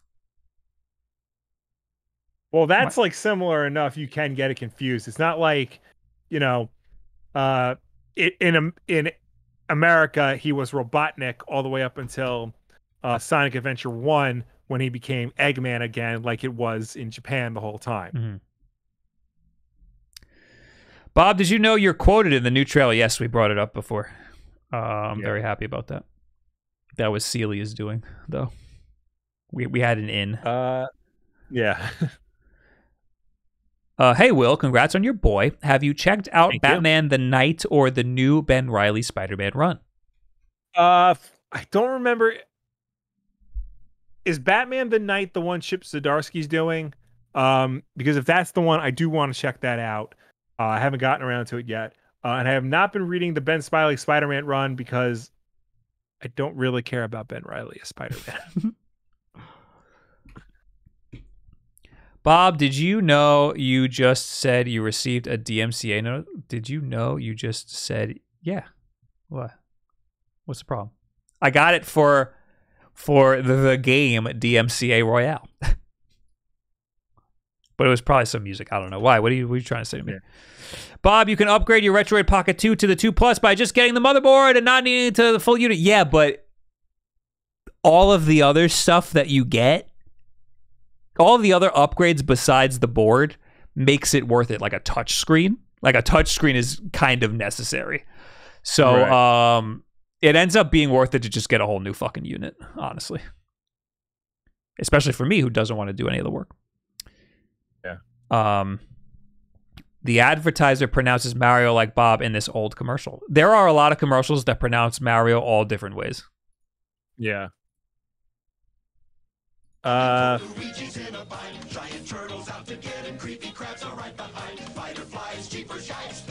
we better not get a strike for this one It's Atari Mario Brothers with Mario. Mario. Kong, his brother Luigi, Mario, there you go. Creatures. And it's twice the fun when two play at once, because you need all the Let's slap a like on that one i feel validated again Mario, where are you? Atari 5200 version from shown. Oh That's interesting. That's a relic. I don't think we have to worry about getting striked for that. It's Atari. Yeah.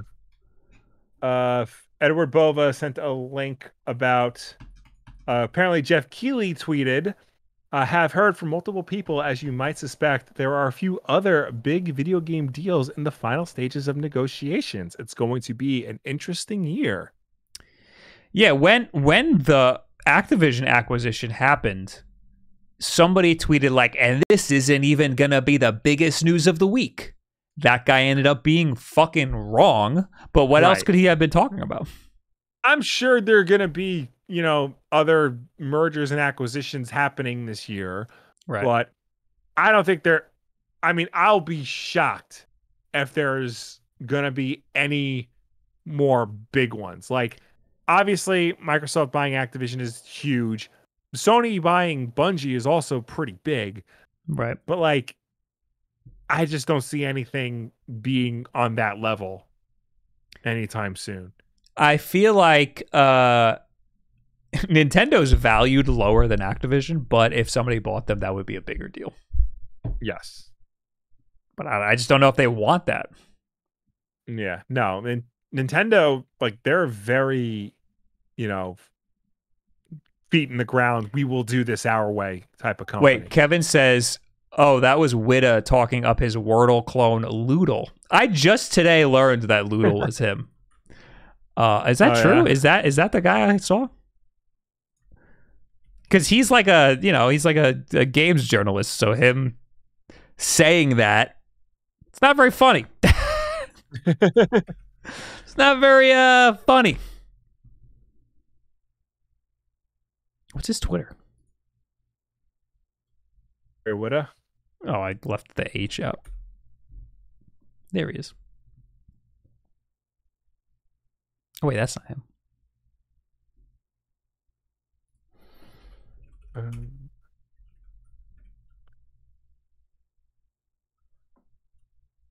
I don't know. Anyway. Uh anatomically the head looks fine to me in these images. What are you talking about?